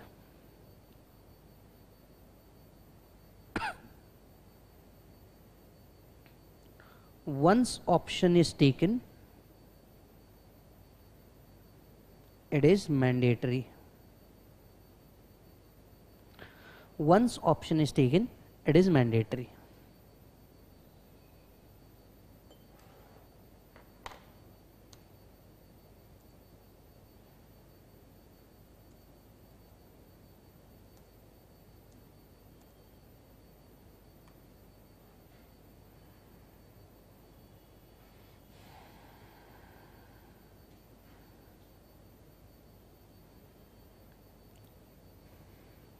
Is this done?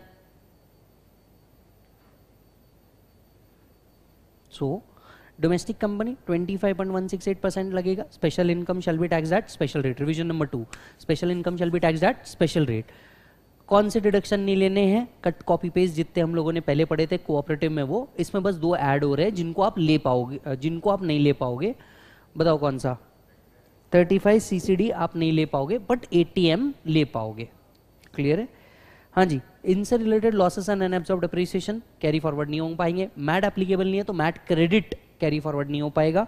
And आपने एक बार option ले लिया तो ये option क्या हो जाता है बेटा? मैंडेटरी हो जाता है। ये सुनो चलो जी।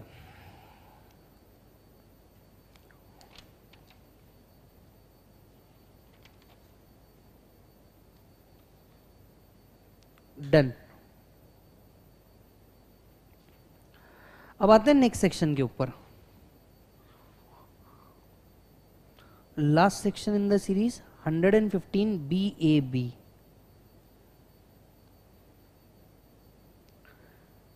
this section is more or less similar to what we have learned with 115 BAE. वहाँ कोऑपरेटिव मैन्युफैक्चरिंग था, यहाँ डोमेस्टिक मैन्युफैक्चरिंग है। यहाँ क्या है बोलो मालिक जल्दी से? डोमेस्टिक मैन्युफैक्चरिंग है। तो डोमेस्टिक मैन्युफैक्चरिंग अगर है डोमेस्टिक मैन्युफैक्चरिंग अगर है डोमेस्टिक मैन्युफैक्चरिंग अगर है तो आपको क्या करना पड़ेगा? यू नो तभी आपको ये ऑप्शन लेते जमेगा। कुछ चीज़ें कॉमन मैन्युफैक्चरिंग में क्या इंक्लूड नहीं होता। चलो लिस्ट रिवाइज करो। छह आइटम थे। Mining gas refill marbles into slabs software development cinematographic films printing of books any other याद आ गया तुमको राइट वो यहाँ पे मैन्युफैक्चरिंग नहीं माना जाएगा। अगर मैन्युफैक्चरिंग है तो डोंट यू थिंक मैन्युफैक्चरिंग चालू होना चाहिए? It should be registered after 2019 and obviously 2019 क्यों? क्योंकि सेक्शन 2019 से आया था। तो company should be registered after 2019 it should start manufacturing before 2024 वापस वही काम किया इन्होंने। अब यही काम करने की वजह से क्या करते हैं? हर साल अमेंड करते हैं। लास्ट टाइम इस सेक्शन में लिखा था 23 इस साल अमेंड करके कर दिया 24 हर साल बस यही करते instead of bringing an amendment why don't you right start the manufacturing within one year of setup simple है। क्या ज़बरदस्ती टाइम पास करते हैं। अच्छा जी, सर, मेरे को एक और बात बताइए। मैन्युफैक्चरिंग एक्टिविटी से आने वाला टैक्स रेट होगा 17.16 परसेंट। अदर एक्टिविटी से आने वाला income 25.168 percent. I hope that make sense to you now special income is tax that special rate, वो तो कह क्वेश्चन ही नहीं है, उसको तो हम बात ही नहीं कर रहे। अगर एओ ने पकड़ लिया कि क्लोज कनेक्शन के कारण आपका यू नो प्रॉफिट कहीं और शिफ्ट हो रहा है don't you think it will be tax directly at the rate of thirty percent यहाँ पे भी कट कॉपी पेस्ट है। समझ में आई बात? एक और चीज़, इससे आने वाला लॉस और अनएब्जॉर्ब डिप्रिसिएशन ना कैरी फॉरवर्ड हो पाएगा। Plant and machinery should be new हालाँकि दो को न्यू माना जाएगा। Imported plant and machinery if the second hand, the value of second hand plant and machinery does not exceed the total value of plant and machinery. Getting the note खत्म हो गया section बस इतना था sir बस इतना नहीं था, बेटा। पिछले तीन घंटे से लगातार मेहनत करे जा रहे ना, तब जाकर के ये तुमको क्लियर कट हाँ ये आ रहा है, ये आ रहा है, ये आ रहा है, ये आ रहा है, ये आ रहा है। और सोच करके देख even though these are mandatory now ये तेरे को पहले मैं पढ़ा सकता था क्या? Income tax specifically DT is more of a logic आप पहले क्या पढ़ते हो, उसके बाद क्या पढ़ते हो। इट डजेंट मैटर देखिए, ऐसा हो सकता है कि आपका कोई दोस्त, कोई और टीचर के साथ you know particular X chapter पहले पढ़ रहा होगा।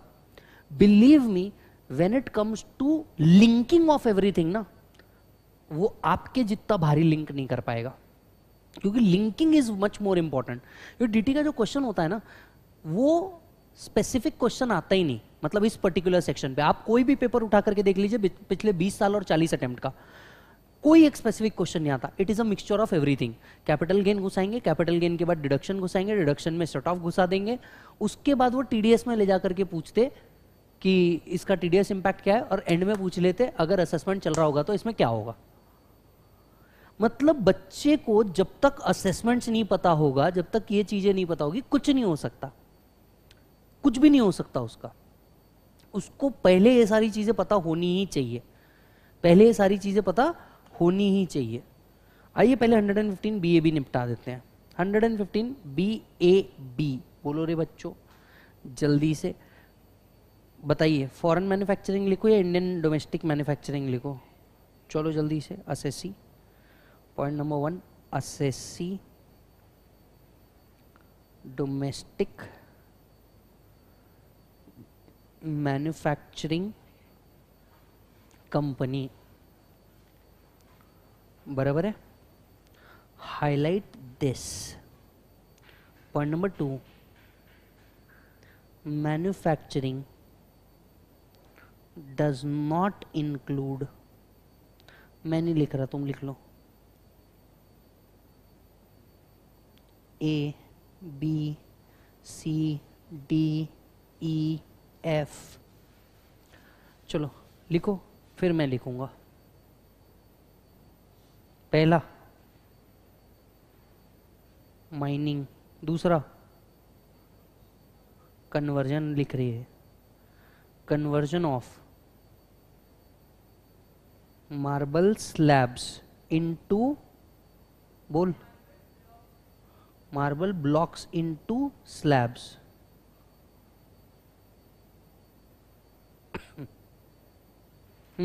तीसरा।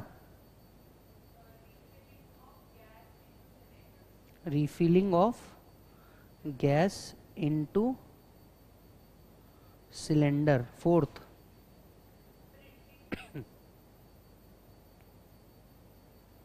printing of books next production of films next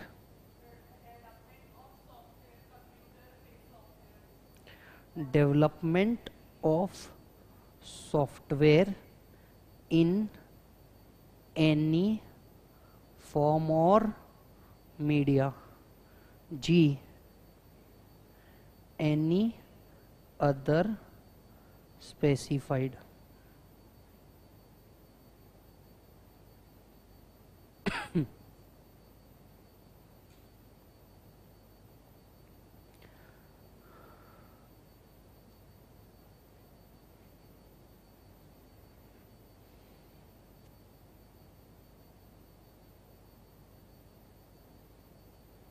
right? Tax rates.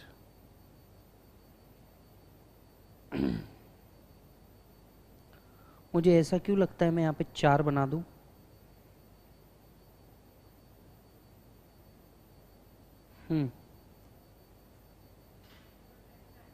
Income out of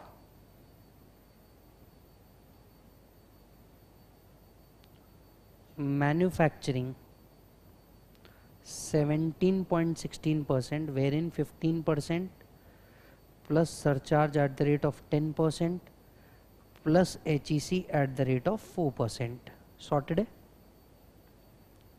पहला हुआ मैन्युफैक्चरिंग दूसरा क्या हुआ अदर इनकम अदर इनकम में मैं डिविडेंड और एचपी डाल दूँ 25.168 परसेंट कैसे आया? बस वो नहीं समझ रहा है। 22 percent plus ten percent plus four percent तीसरा आया special income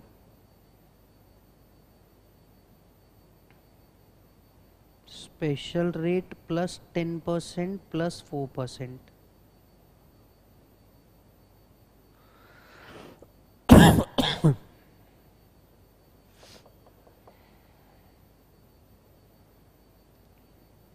बराबर है? AO club the income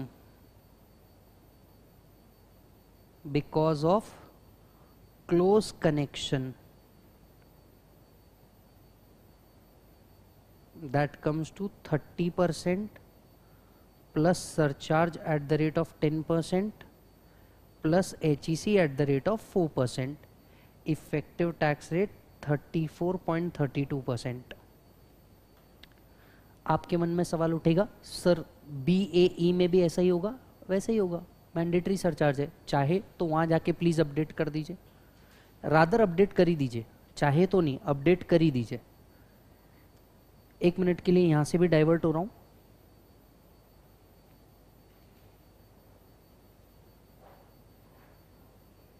Thirty four point thirty two percent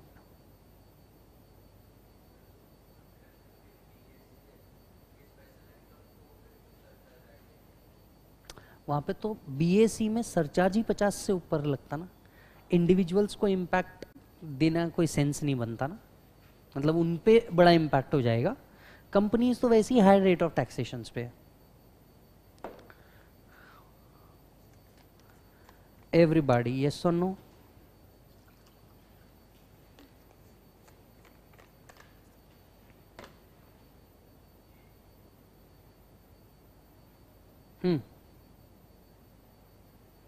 fourth. Other points.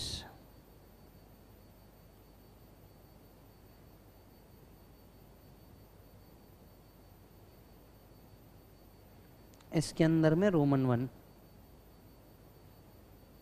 following deductions are not allowed to be taken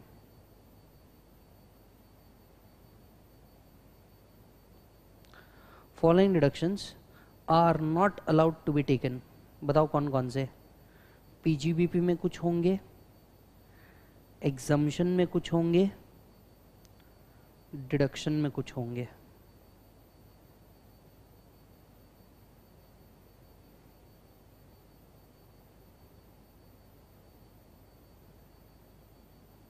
All deduction except all deduction except 80 JJAA, 80 LA, 80 M. Cut copy paste ही करना है, हमने कुछ नहीं करना है exemption under section ten double A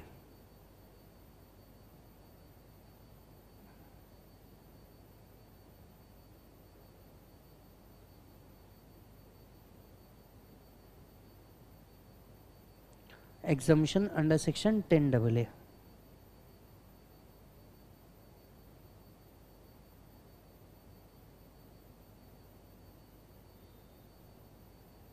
Then चलो PGBP की list लगाओ फटाफट। सबसे पहले additional depreciation under section 32 one second scientific research मेरे हिसाब से अब तुमको ये इतने बार याद हो गया है कि अब तुमको वो रात में चद्दर खींच के भी पूछेगा तो तुमको पता रहेगा हाँ ये ये लिस्ट में लिख दे एक साथ. थर्ड स्पेसिफाइड बिज़नेस सी देखो, ये एक फ़र्क होता है मालूम आपको? राइटिंग एंड नॉन राइटिंग ऐसा हो सकता है फाइनल में आप एफ़ आर पढ़ रहे हो एस एफ़ एम पढ़ रहे हो। आपने वहाँ पे राइटिंग किया ही नहीं होगा। आफ्टर वन पॉइंट क्या होता है मालूम है आपको? वो बोर हो जाता। आपको प्रैक्टिकल सब्जेक्ट थियरी लगने लग जाता। एंड यू एंड अप क्या चल रहा है छोड़। You end up losing the interest और यही फेस टू फेस जो बच्चा बैठा है यहाँ पे इनफैक्ट जो यहाँ पे फेस टू फेस बच्चा बैठा है, उसके पास ऑप्शन ही नहीं, उसको ध्यान लगाना ही पड़ता। मैं हमेशा कहता हूँ फाइनल की अगर तुम क्लास कर रहे हो ना फेस टू फेस मिल रहा है, उसको छोड़ने का ही नहीं। कुछ भी हो जाए, छोड़ने का ही नहीं। फोर्थ बोल बेटा। Agriculture extension project under section 35 CCC skill development skill development expenditure under section 35 five C C D six बोलो बेटा।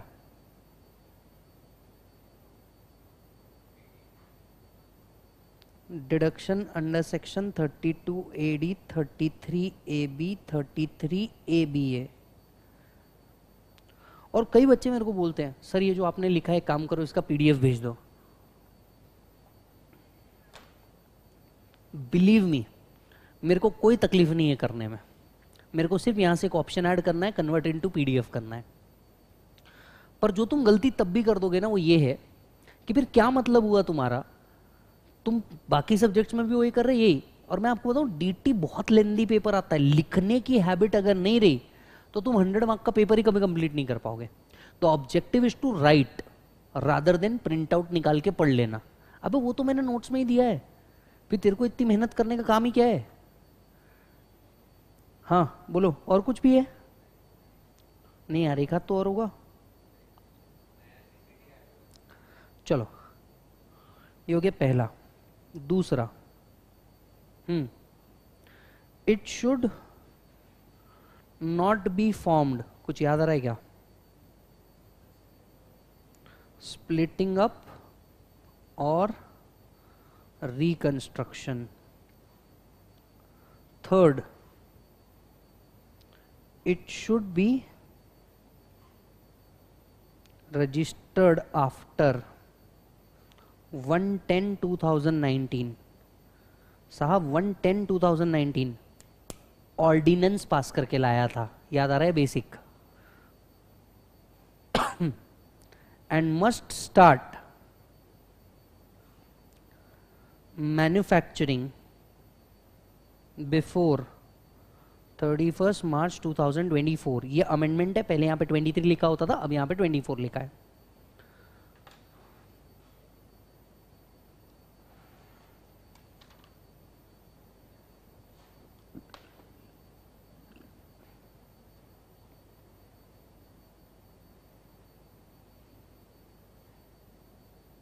It should use new plant and machinery.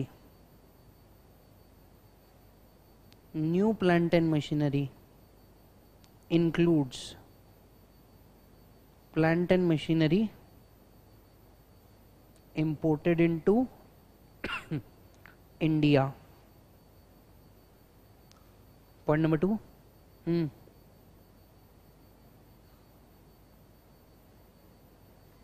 second hand plant and machinery if its value does not exceed 20% of total value of plant and machinery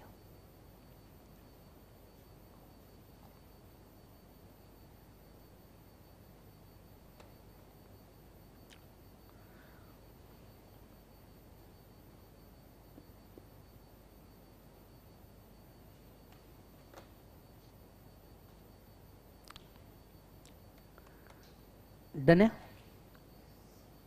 खत्म नहीं हुआ है, रुको। एक condition और add हुई है। It should not use the building earlier use as hotel और convention centre whose deduction is claimed under section 80 ID. It should not use the building earlier used as hotel or convention center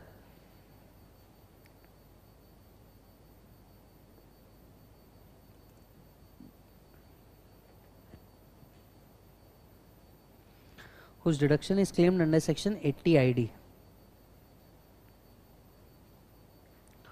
ये concept क्या है? समझिए। If a particular building is use as a hotel और it is use as a convention centre yes इसका deduction मिला करता था 80 ID में। एक सेक्शन हुआ करता था 80 आईडी इसका डिडक्शन मिला करता था 80 आईडी के अंदर में। अगर आपने इस बिल्डिंग को यूज़ किया है बिकॉज़ ऐसा क्या होता था आपको बताएगा ये जो मैन्युफैक्चरिंग uh, यूनिट वाले हैं ये नया लैंड नहीं लेते थे। ये क्या करते थे? Earlier use as convention centre अब नहीं चल रहा। एक काम कर लो यहीं पे मैन्युफैक्चरिंग एक्टिविटी चालू करो। होटल नहीं चल रहा यहीं पे मैन्युफैक्चरिंग एक्टिविटी चालू कर दो। उनने बोला ये भी नहीं चाहिए। लेकिन ये सिर्फ़ और सिर्फ़ कहाँ लाया है? 115 बी ए बी के अंदर में लेके आया है। समझ में आ रही बात? मेरे को नहीं लगता इससे कोई बहुत बड़ा फ़र्क पड़ने वाला था, क्योंकि ये प्रोविज़न नहीं भी लाते तो भी अब premises which has been earlier used as hotel उसका स्ट्रक्चर अलग होता है मैन्युफैक्चरिंग में लगने वाला स्ट्रक्चर अलग होता है। I don't know why the hell they brought up this particular provision कोई सेंस नहीं बनता। अब premises which has been used in convention centre तुमको भी ठंडी लग रही है? दो मिनट। यहाँ के एसी अलते बलते स्ट्रांग है। अब premise which has been use as a convention centre उसका जो स्ट्रक्चर होता है वो ऑल टुगेदर अलग होता है जो मैन्युफैक्चरिंग में यूज़ होता है। There was no point in bringing this particular provision but might be they have come across certain you know companies which might have done this case earlier they would have taken deduction under eighty I D now they would have been taking deduction under this provisions तो they have expressly restricted this particular part they have expressly restricted this particular part कि भैया तुम ये नहीं करोगे। समझ में आ रही बात? एक पॉइंट मैंने कहीं पढ़ा था, एक पॉइंट मैंने कहीं पढ़ा था जियो कन्वेंशन सेंटर्स। ये प्रोविज़न जब लाई गई थी ना इट वॉज़ सेड कि भैया ये जियो कन्वेंशन सेंटर को रिस्ट्रिक्शन के लिए लेकर के आए हैं। कि भैया अर्लियर अगर तुमने ये स्पेस को कन्वेंशन सेंटर या होटल बोल करके यूज़ किया है तो अब तुम उसको मैन्युफैक्चरिंग बिल्डिंग नहीं दिखा सकते। अदरवाइज़ इट वॉज़ प्लान्ड कि जहाँ पे आज जियो कन्वेंशन सेंटर है, वहाँ पे एक मैन्युफैक्चरिंग यूनिट आ जाता because it is in the heart of BKC समझ में आ रही बात? तो ये प्लान था। सरकार ने कहीं ना कहीं ये ला लिया, जिसके कारण वो कन्वेंशन सेंटर बन पाया और आज इंडिया का नाम रोशन कर रहा है। But it was a myth I don't know यही उसका सही लॉजिक है या नहीं है? हाँ जी।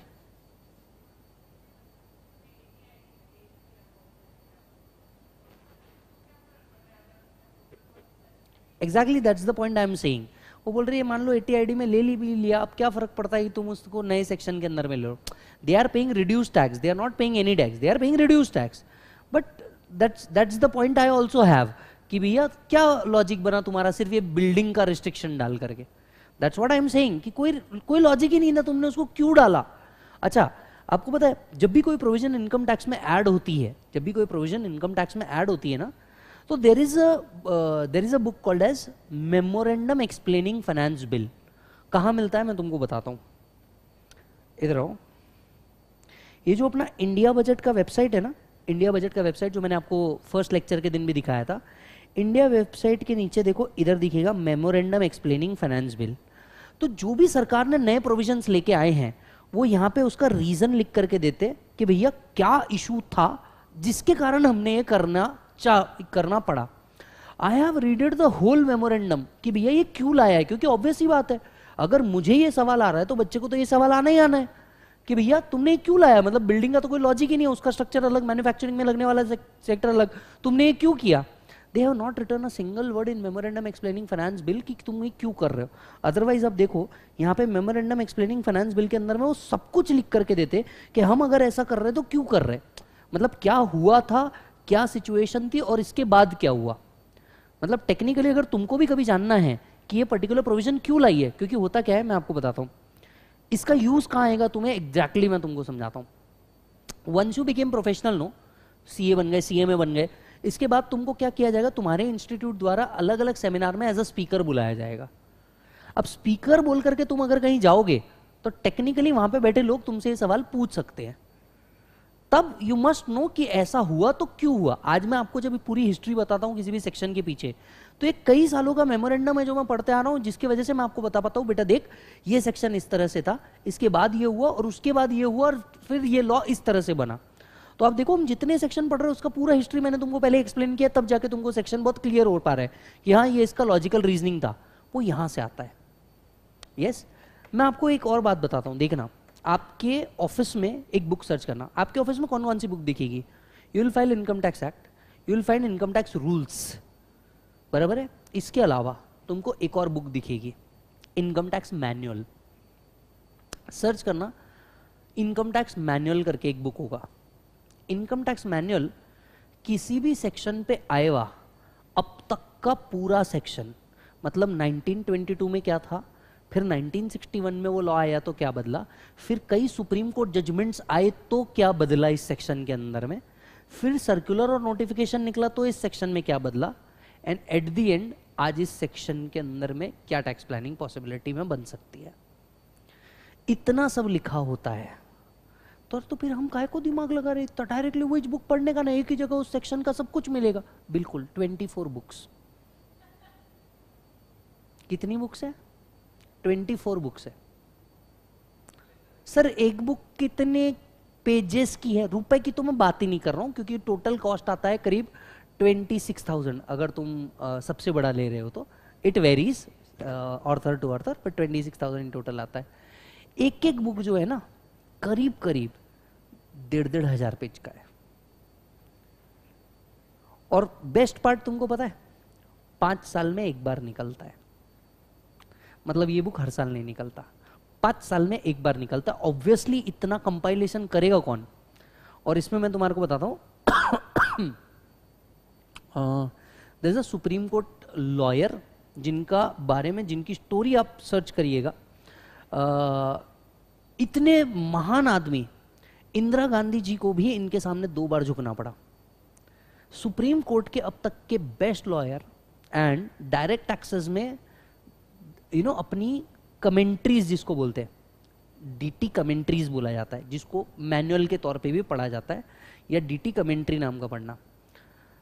आपके ऑफ़िस में ये बुक होनी मैंडेटरी है। मतलब आप मान के चलो ये मैंडेटरी है, क्योंकि क्लाइंट का कब, कौन से साल का क्या केस निकले। इसीलिए सीए के ऑफ़िस में हर साल के न्यू इनकम टैक्स तो आते ही आते हैं। हर पाँच साल में उनके ऑफ़िस में एक बुक बदलती है, और वो है इनकम टैक्स कमेंट्रीज या इनकम टैक्स मैनुअल्स पाँच साल में एक बार निकलती है। और इसमें सबसे फ़ेमस जो ऑर्थर है, वो है नानी पालकी वाला नानी पालकी वाला सर के बारे में आज जाकर के यूट्यूब पे पढ़ना फ़ैन हो जाओगे उस आदमी के। कि भाई ये वो आदमी था जिसने इंदिरा गांधी जी को मतलब दो बार लिटरली मजबूर कर दिया यू नो अपने नॉलेज से। मजबूर कर दिया लिटरली अपने नॉलेज से। ये वो व्यक्ति है जिसने कॉन्स्टिट्यूशन को दो बार चेंज करवाया इंडिया में। इतना ज़बरदस्त knowledge once in a decade ऐसा कोई व्यक्ति आता है। और आज आ, इस बुक को क्योंकि नानी पालके वाला सर का डिमाइस हो गया आज इस बुक को ना सुप्रीम कोर्ट के अनादर फ़ेमस लॉयर कंपाइल करते हैं दाते सर आज वो क्या करते हैं वो इसको कंपाइल करते हैं। बट ये इतना बड़ा कंटेंट है कि इसको पाँच साल में एक बार कंपाइल किया जाता है। यस yes, मतलब मैं आपको हंड्रेड परसेंट बता रहा हूँ। मेरे अलावा बहुत फ्यू डीटी के टीचर ऐसे रहेंगे जो आपको इतना डिटेल में बताएँगे कि किस बुक को तुमको लेना है। तो technically after being professional after being professional ठीक है? ये सेक्शन को मैं दो मिनट बाजू कर रहा हूँ क्योंकि डिस्कशन आया है इसके लिए। आफ्टर बीइंग प्रोफेशनल आपको सबसे पहले जो लेना है वो है डी मैनुअल ये आपके पास होगा होना ही चाहिए डी मैनुअल या कमेंट्रीज बराबर है? ये एक वन टाइम कॉस्ट है तुम्हारा पाँच साल में, पर कर लेना। तुम्हारे ऑफ़िस में ये होना ही चाहिए। बराबर है? आप बोलोगे आप बोलोगे, सर, ये होना ही चाहिए। क्यों? क्लाइंट से रिलेटेड चीज़ है। और वैसे भी तुमको क्यों टेंशन लेना है? Books is considered as plant and machinery and eligible for depreciation तो तुमने दिमाग नहीं लगाने का। दूसरा जो तुम्हारे पास होना ही चाहिए, वो ऑब्वियसली एक्ट होना चाहिए ऑब्वियसली रूल्स होने चाहिए। ये तो हर साल चेंज होगा ही होगा इसमें कहीं कोई चेंज नहीं है। बराबर है? तुमको मेमोरेंडम पढ़ना चाहिए। If you wish to be speaker memorandum तुमको पढ़ना पड़ेगा हर साल का। बराबर है? बजट कमेंट्रीज या मेमोरेंडम्स आते हैं वो तुमको पढ़ने पड़ेंगे। यस yes, अगर तुम फ्यूचर में चल के टैक्स टीचर भी बनना चाह रहे हो तो तुमको इतना सब पहले पढ़ना पड़ेगा। अदरवाइज़ तुम टैक्स टीचर तो बन जाओगे। बट आपका मेजर ऑब्जेक्टिव सिर्फ़ यूट्यूब पे रिवीजन करवाना रह जाएगा। समझ में आ रही है बात? फिर वो कोर टीचिंग बहुत दूर हो जाता है, बात समझ लेना। पांचवा पांचवा, आप एक और चीज़ पढ़ेंगे डायरेक्ट एक्सेस में मतलब जो आपके पास बहुत ज़रूरी चीज़ों के अंदर में आता है। वो क्या आता है, मैं आपको बता दूँ। एनीवन आपके ऑफ़िस में देखो कुछ बुक्स है। कौन सा? Supreme Court judgments. ये हर दो साल में कंपाइल होते हैं। मतलब टैक्समैन ही करता है। इनमें सबसे बड़ा पब्लिशर इन सारी चीज़ों का टैक्समैन है। पर टैक्समैन के अलावा भरत पब्लिकेशंस भी आता है। बट टैक्समैन बहुत कंसिस्टेंसी के साथ इस चीज़ को लेकर के आते हैं। Yes yes? जैसे मैं आपको बता दूँ। देखो।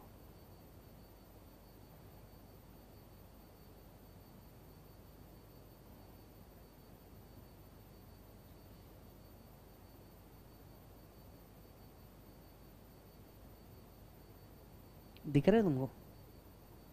इनकम टैक्स कमेंट्रीज ये देखो कमेंट्री के कॉम्बोस ये आपके ऑफ़िस में एक साथ आते हैं।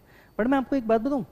ये देखो, ये जो मैं बोल रहा हूँ ना आपको, दो बड़े ऑर्थर है इसमें। एक है संपत एंगर आपके ऑफ़िस में ये दिख सकती है, क्योंकि ये यू नो कॉस्ट इफ़ेक्टिव है।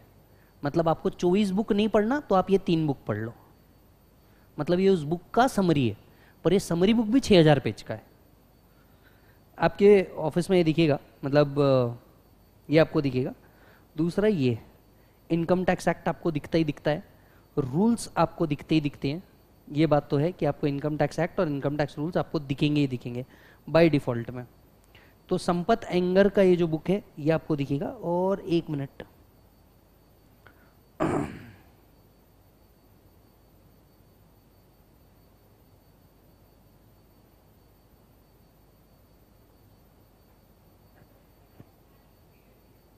टैक्स प्लानिंग भी दी रहती है। टैक्स प्रैक्टिस मैनुअल इसके अलावा, अब आपकी इच्छा हो रही है। सर, मेरे को एक बात बताओ। देखो, ये जब पढ़ूँगा मैं तो पढ़ लूँगा। पर हर साल में अपडेट होने के लिए तो कुछ दे दो। हर साल अपडेट होने के लिए तो कुछ दे दो। हर साल हम आपका क्लास तो लगाएँगे नहीं। नो no डाउट आपका यूट्यूब चैनल सब्सक्राइब कर लेंगे, पर हर साल हम इधर तो आएँगे नहीं। बराबर है सीए बनने के बाद। जॉब पे रहे, सिर्फ़ अपडेट करना है। अब मान लो मैं जॉब पे हूँ। मेरे को इतना बड़ा कमेंट्रीज पढ़ के काम ही नहीं। मेरी कंपनी का इनमें से कुछ नहीं है। एक्ट और रूल्स मेरे को इतना सब नहीं पढ़ना। मेरे को सिर्फ़ समझना है चेंज कहाँ हुआ है। आपके बुक में आपके पास छठवीं चीज़ मिलेगी रेकनर डायरेक्ट टैक्स का रेकनर आता है। रेडी रेकनर बोलते हैं इसको। डीटी रेडी रेकनर बजट आते ही maximum people who are into jobs अपने आप को अपडेट रखने के लिए सिर्फ़ रेकनर पढ़ते हैं। सर मतलब सीए बनने के बाद में हमारे को पढ़ना पड़ेगा ही। मुस्कुराइए, आप उस कोर्स में हैं जहाँ पढ़ना जीवन भर है, नहीं तो आप आउटडेटेड हो जाएँगे। और एक आउटडेटेड प्रोफेशनल की मार्केट में लॉजिकली वैल्यू नहीं होती। तो अगर आपको ऐसा दिल से लग रहा है कि बस अपन ने पढ़ लिया, काम खत्म, पढ़ाई से छुटकारा, गलत, पढ़ना आपको जीवन भर है।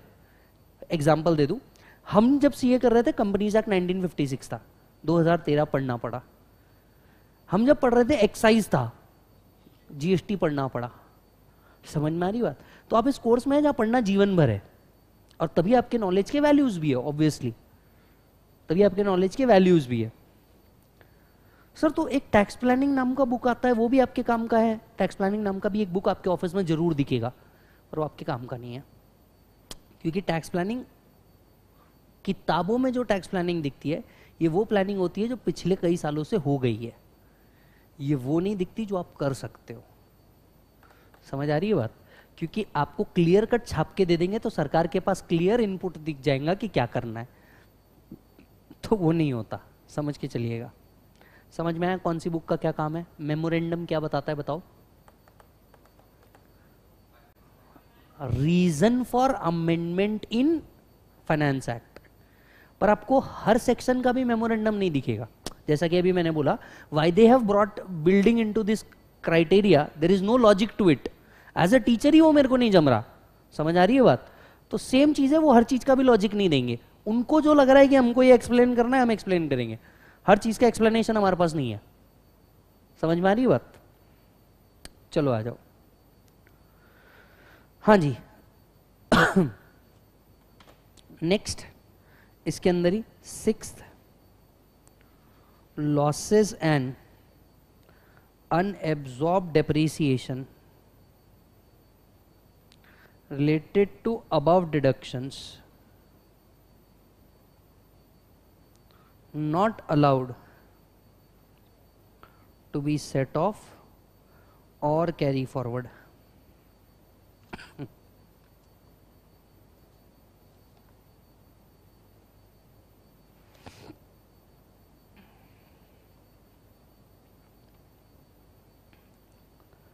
Mat not applicable. Mat credit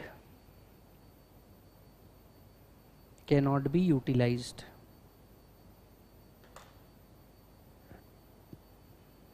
Mat is not applicable. Mat credit cannot be utilized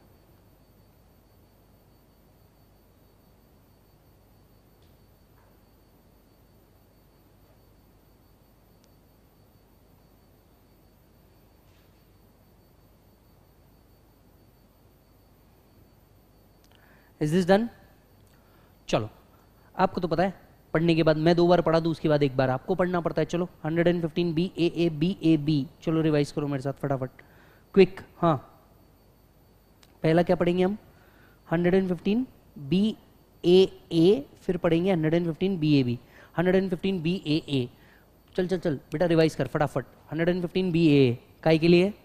Domestic company tax rate 25.168 percent yes अच्छा जी डिडक्शंस कौन से नहीं ले पाएँगे? कॉमन है पीजीबीपी के चैप्टर सिक्स ए के एंड एग्जामेशन वाले नहीं ले पाएँगे। आई एम श्योर आपको लिस्ट याद है। Losses and absorb depreciation related to above can not be claim MAT is not applicable hence MAT credit can not be use option one exercise can not be withdrawn यहाँ पे domestic company के लिए है manufacturing का list same है जो B के अंदर में दिया हुआ है। टैक्स रेट जो है यहाँ पे चार है। मतलब you need a clear cut classification you need a clear cut classification कि भैया कौन सी इनकम क्या है? इशू कहाँ आएगा? असेसमेंट करते वक्त। आप इसको मैन्युफैक्चरिंग में डालना चाहेंगे? यस yes, ए इसको अदर में डालना चाहेगा। यही इशू आता है बाकी कहीं इशू नहीं आता रियल लाइफ में। डिडक्शंस की लिस्ट कॉमन है B A B B A A के अंदर में। प्लांट एंड मशीनरीज में न्यू यूज़ होनी चाहिए। मैन्युफैक्चरिंग 2024 से पहले चालू होना चाहिए। Losses and unabsorb depreciation carry forward नहीं कर पाएँगे। मैट इज़ एप्लीकेबल एक लास्ट पॉइंट इसमें और ऐड कर दो। एक लास्ट पॉइंट इसके अंदर में और ऐड कर दो। बोलो, कौन सा? Once opted can not be withdrawn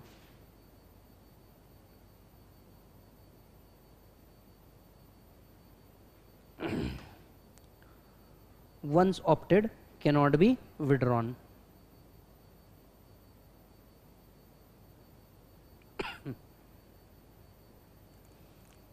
Clear है? हाँ। अब अगर आप देखेंगे, एक बार चेक कर लीजिए, हमारा chapter number one chapter number one में सबसे पहले आकर के हम लोगों ने हिस्ट्री पढ़ी। सी एस और नो हिस्ट्री पढ़ने के बाद मैंने आपको स्कोप ऑफ़ इनकम टैक्स पढ़ाया। फिर आपको लॉ कैसे वर्क करता है अमेंडमेंट कैसे आता है, ये बताया। फिर इनकम टैक्स ने खुद के ही ऊपर पावर ले लिया कि भैया हम बार बार पार्लियामेंट को नहीं बुलाते बैठेंगे, कुछ डिफिकल्टी आई, हम ही सॉल्व कर देंगे। फिर इसकी कॉन्स्टिट्यूशनल वैलिडिटी देखी थी article 265 article 246 entry number 82 entry number 46 surcharge कैसे लगाते, उससे रिलेटेड आर्टिकल टैक्स कैसे डिवाइड होता, उससे रिलेटेड आर्टिकल टैक्स के दो पार्ट थे डायरेक्ट टैक्स इनडायरेक्ट टैक्स को खत्म किया। बजट की एप्लीकेबिलिटी कब से आती है, वो हम लोगों ने डिस्कस किया कि बजट जनरली एक ही आता है इलेक्शन ईयर में कितने बजट आएँगे? दो। In 2024 they will bring up two budget election से पहले, इलेक्शन के बाद। वो बजट आपके मई, जून 24 नवंबर, दिसंबर 24 का कोई काम का नहीं है। वो 25 अटेम्प्ट वालों के लिए काम का है। समझ में आ रही बात? वो तुम्हारे काम का नहीं है। फिर हमने सेक्शन वन एंड इंडिया पढ़ा सेक्शन फोर पढ़ा। सेक्शन फोर के एक वर्ड पे थे हम। हम कहा हैं? सेक्शन फोर पे। क्या? हम सेक्शन फोर पे हाँ? आप सेक्शन फोर से इतने सेक्शन घूम के आए हो। पूछो कैसे?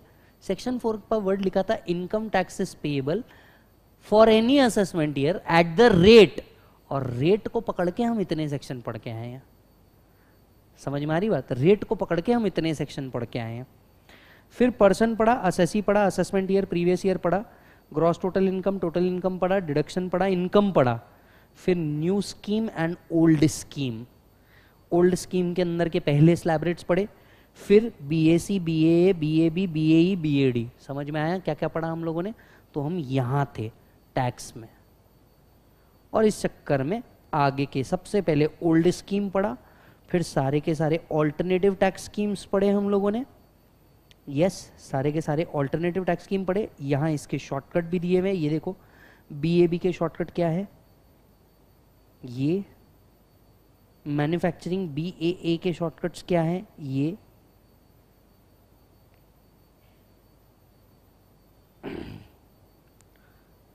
एक मिनट।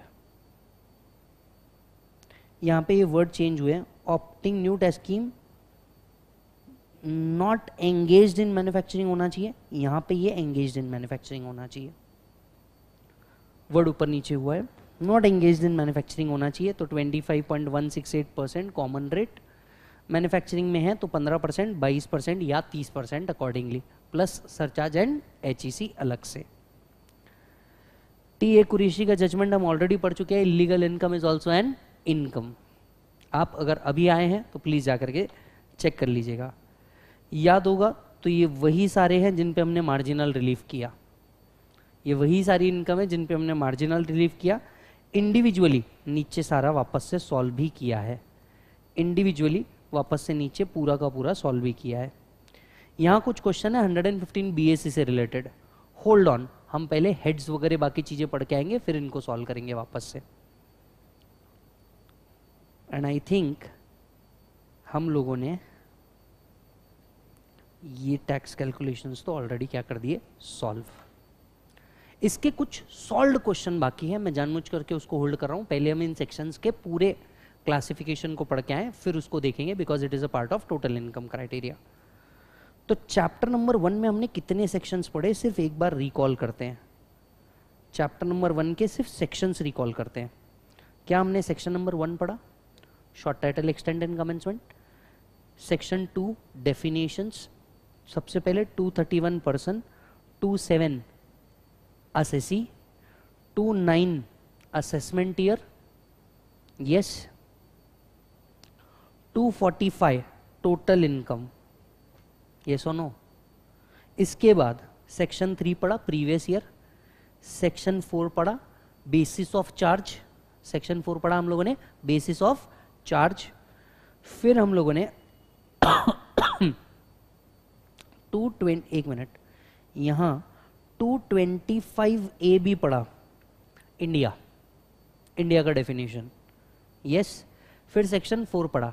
सेक्शन फोर पढ़ने के बाद हमने 288 ए 288 बी पढ़ा दैट इज़ राउंडिंग ऑफ़ हमने 87 ए पढ़ा और समझा, सात लाख कॉमन रिबेट नहीं है, पाँच लाख ओल्ड सिलेबस का, सात लाख न्यू रेट का, और सात लाख वाले में भी मार्जिनल रिलीफ याद आ रहा है?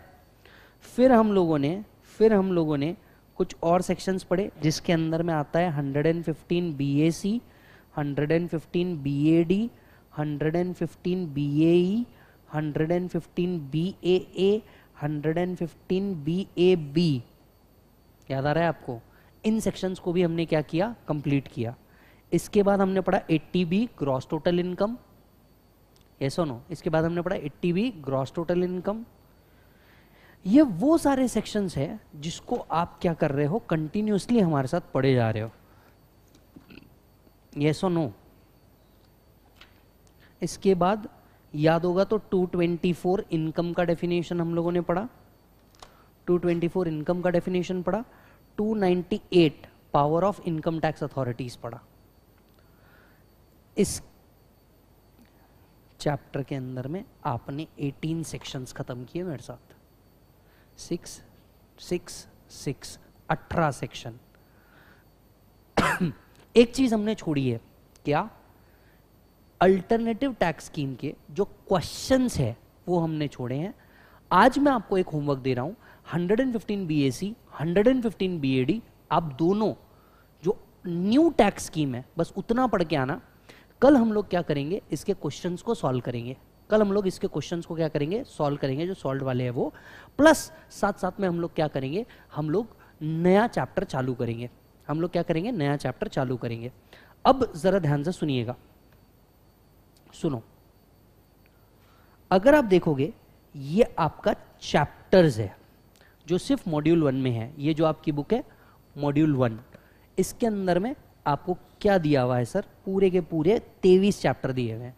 ये सिर्फ़ मॉड्यूल वन के जो लोग गूगल ड्राइव पेन ड्राइव या ऑनलाइन लाइव स्ट्रीम देख रहे होंगे, आपको पहले दो बुक आएँगे।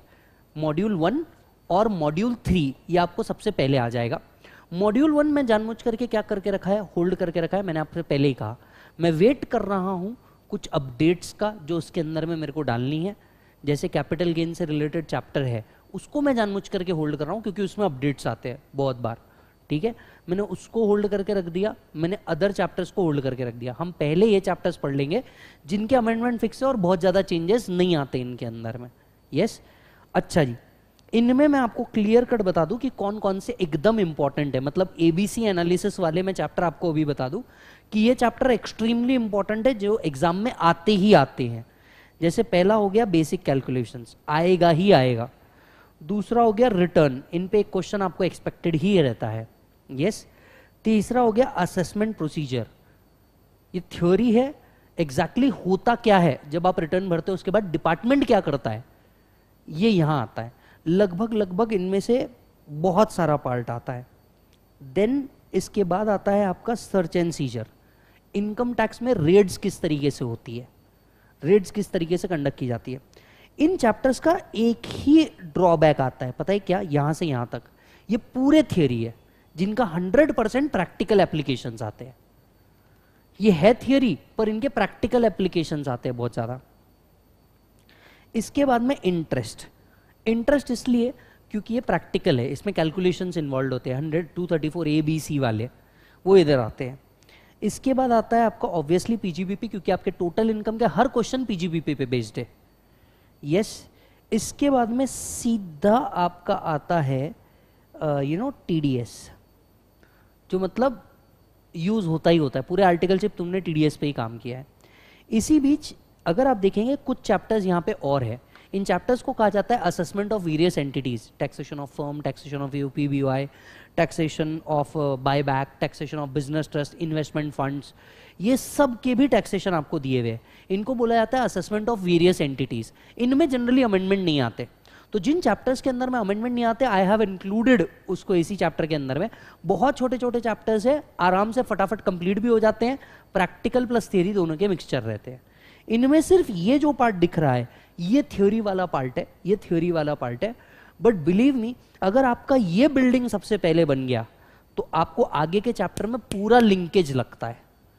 तो अगर आप देखेंगे, आपके चैप्टर नंबर टू में मैंने बाकायदा एक पूरा असेसमेंट चार्ट बना के दिया है।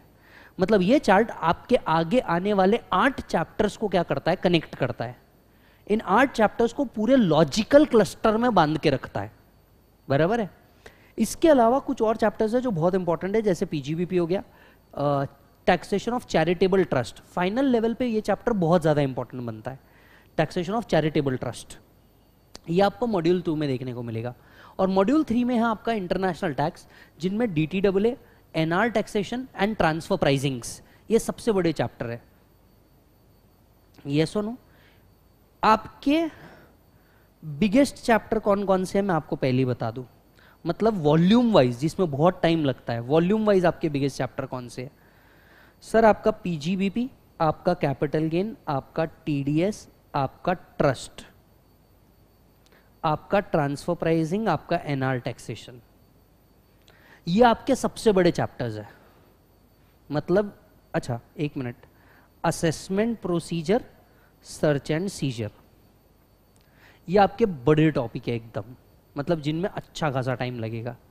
Sir what about salary and HP please मतलब प्लीज़ सैलरी और एचपी यू नो अब तक के ऐसा होता है? पूरे इंडिया में नॉट जस्ट मी पूरे इंडिया के अंदर में सैलरी और एचपी जो होता है वो सबसे एंड में होता है।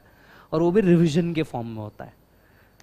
क्योंकि वो चैप्टर नए फाइनल लेवल पे पूछे जाते हैं, क्योंकि अब तक आपको सच्चाई पता चल चुकी होती है कि सैलरी को कंप्यूट नहीं किया जाता। पर हाँ मैं इसके आगे कुछ बोलूँगा नहीं, क्योंकि बात धंधे की है। बराबर है? सैलरी आप कैसे कंप्यूट करते हो आपको भी पता है ना? एक पेज आता है, उस पेज को कट कॉपी पेस्ट हो जाता है। That's how salary is computed and HP के अंदर में तुम सिर्फ़ लॉस बुक करते हो इनकम नहीं। Income is taken in cash समझ में आ रहा है ना? दिस इज़ द फैक्ट ये आपके बिगेस्ट टॉपिक है। और बिगेस्ट होने के कारण ये टॉपिक आपके क्या बन जाते हैं? इंपॉर्टेंट यही टॉपिक आपके क्या बन जाते हैं? इंपॉर्टेंट समझ में आ रही है बात? कल हम लोग क्या पढ़ने वाले हैं? कल से हम लोग पढ़ने वाले हैं। पहले इस कल का सेक्शन बहुत स्पेसिफिक है। कल हम इसके पहले क्वेश्चंस कंप्लीट करेंगे, उसके बाद हम लोग नए चैप्टर पे एंटर कर देंगे। यस या फिर ऑल्टरनेटिव कर सकते हैं, आते ही फ्रेश नया चैप्टर पढ़ लेंगे और बाद में इसके क्वेश्चन को देखते बैठेंगे। वैसे भी वो सॉल्व है तो हमें सिर्फ़ देखना है उसको। डन है मालिक see you for the day bye bye and take care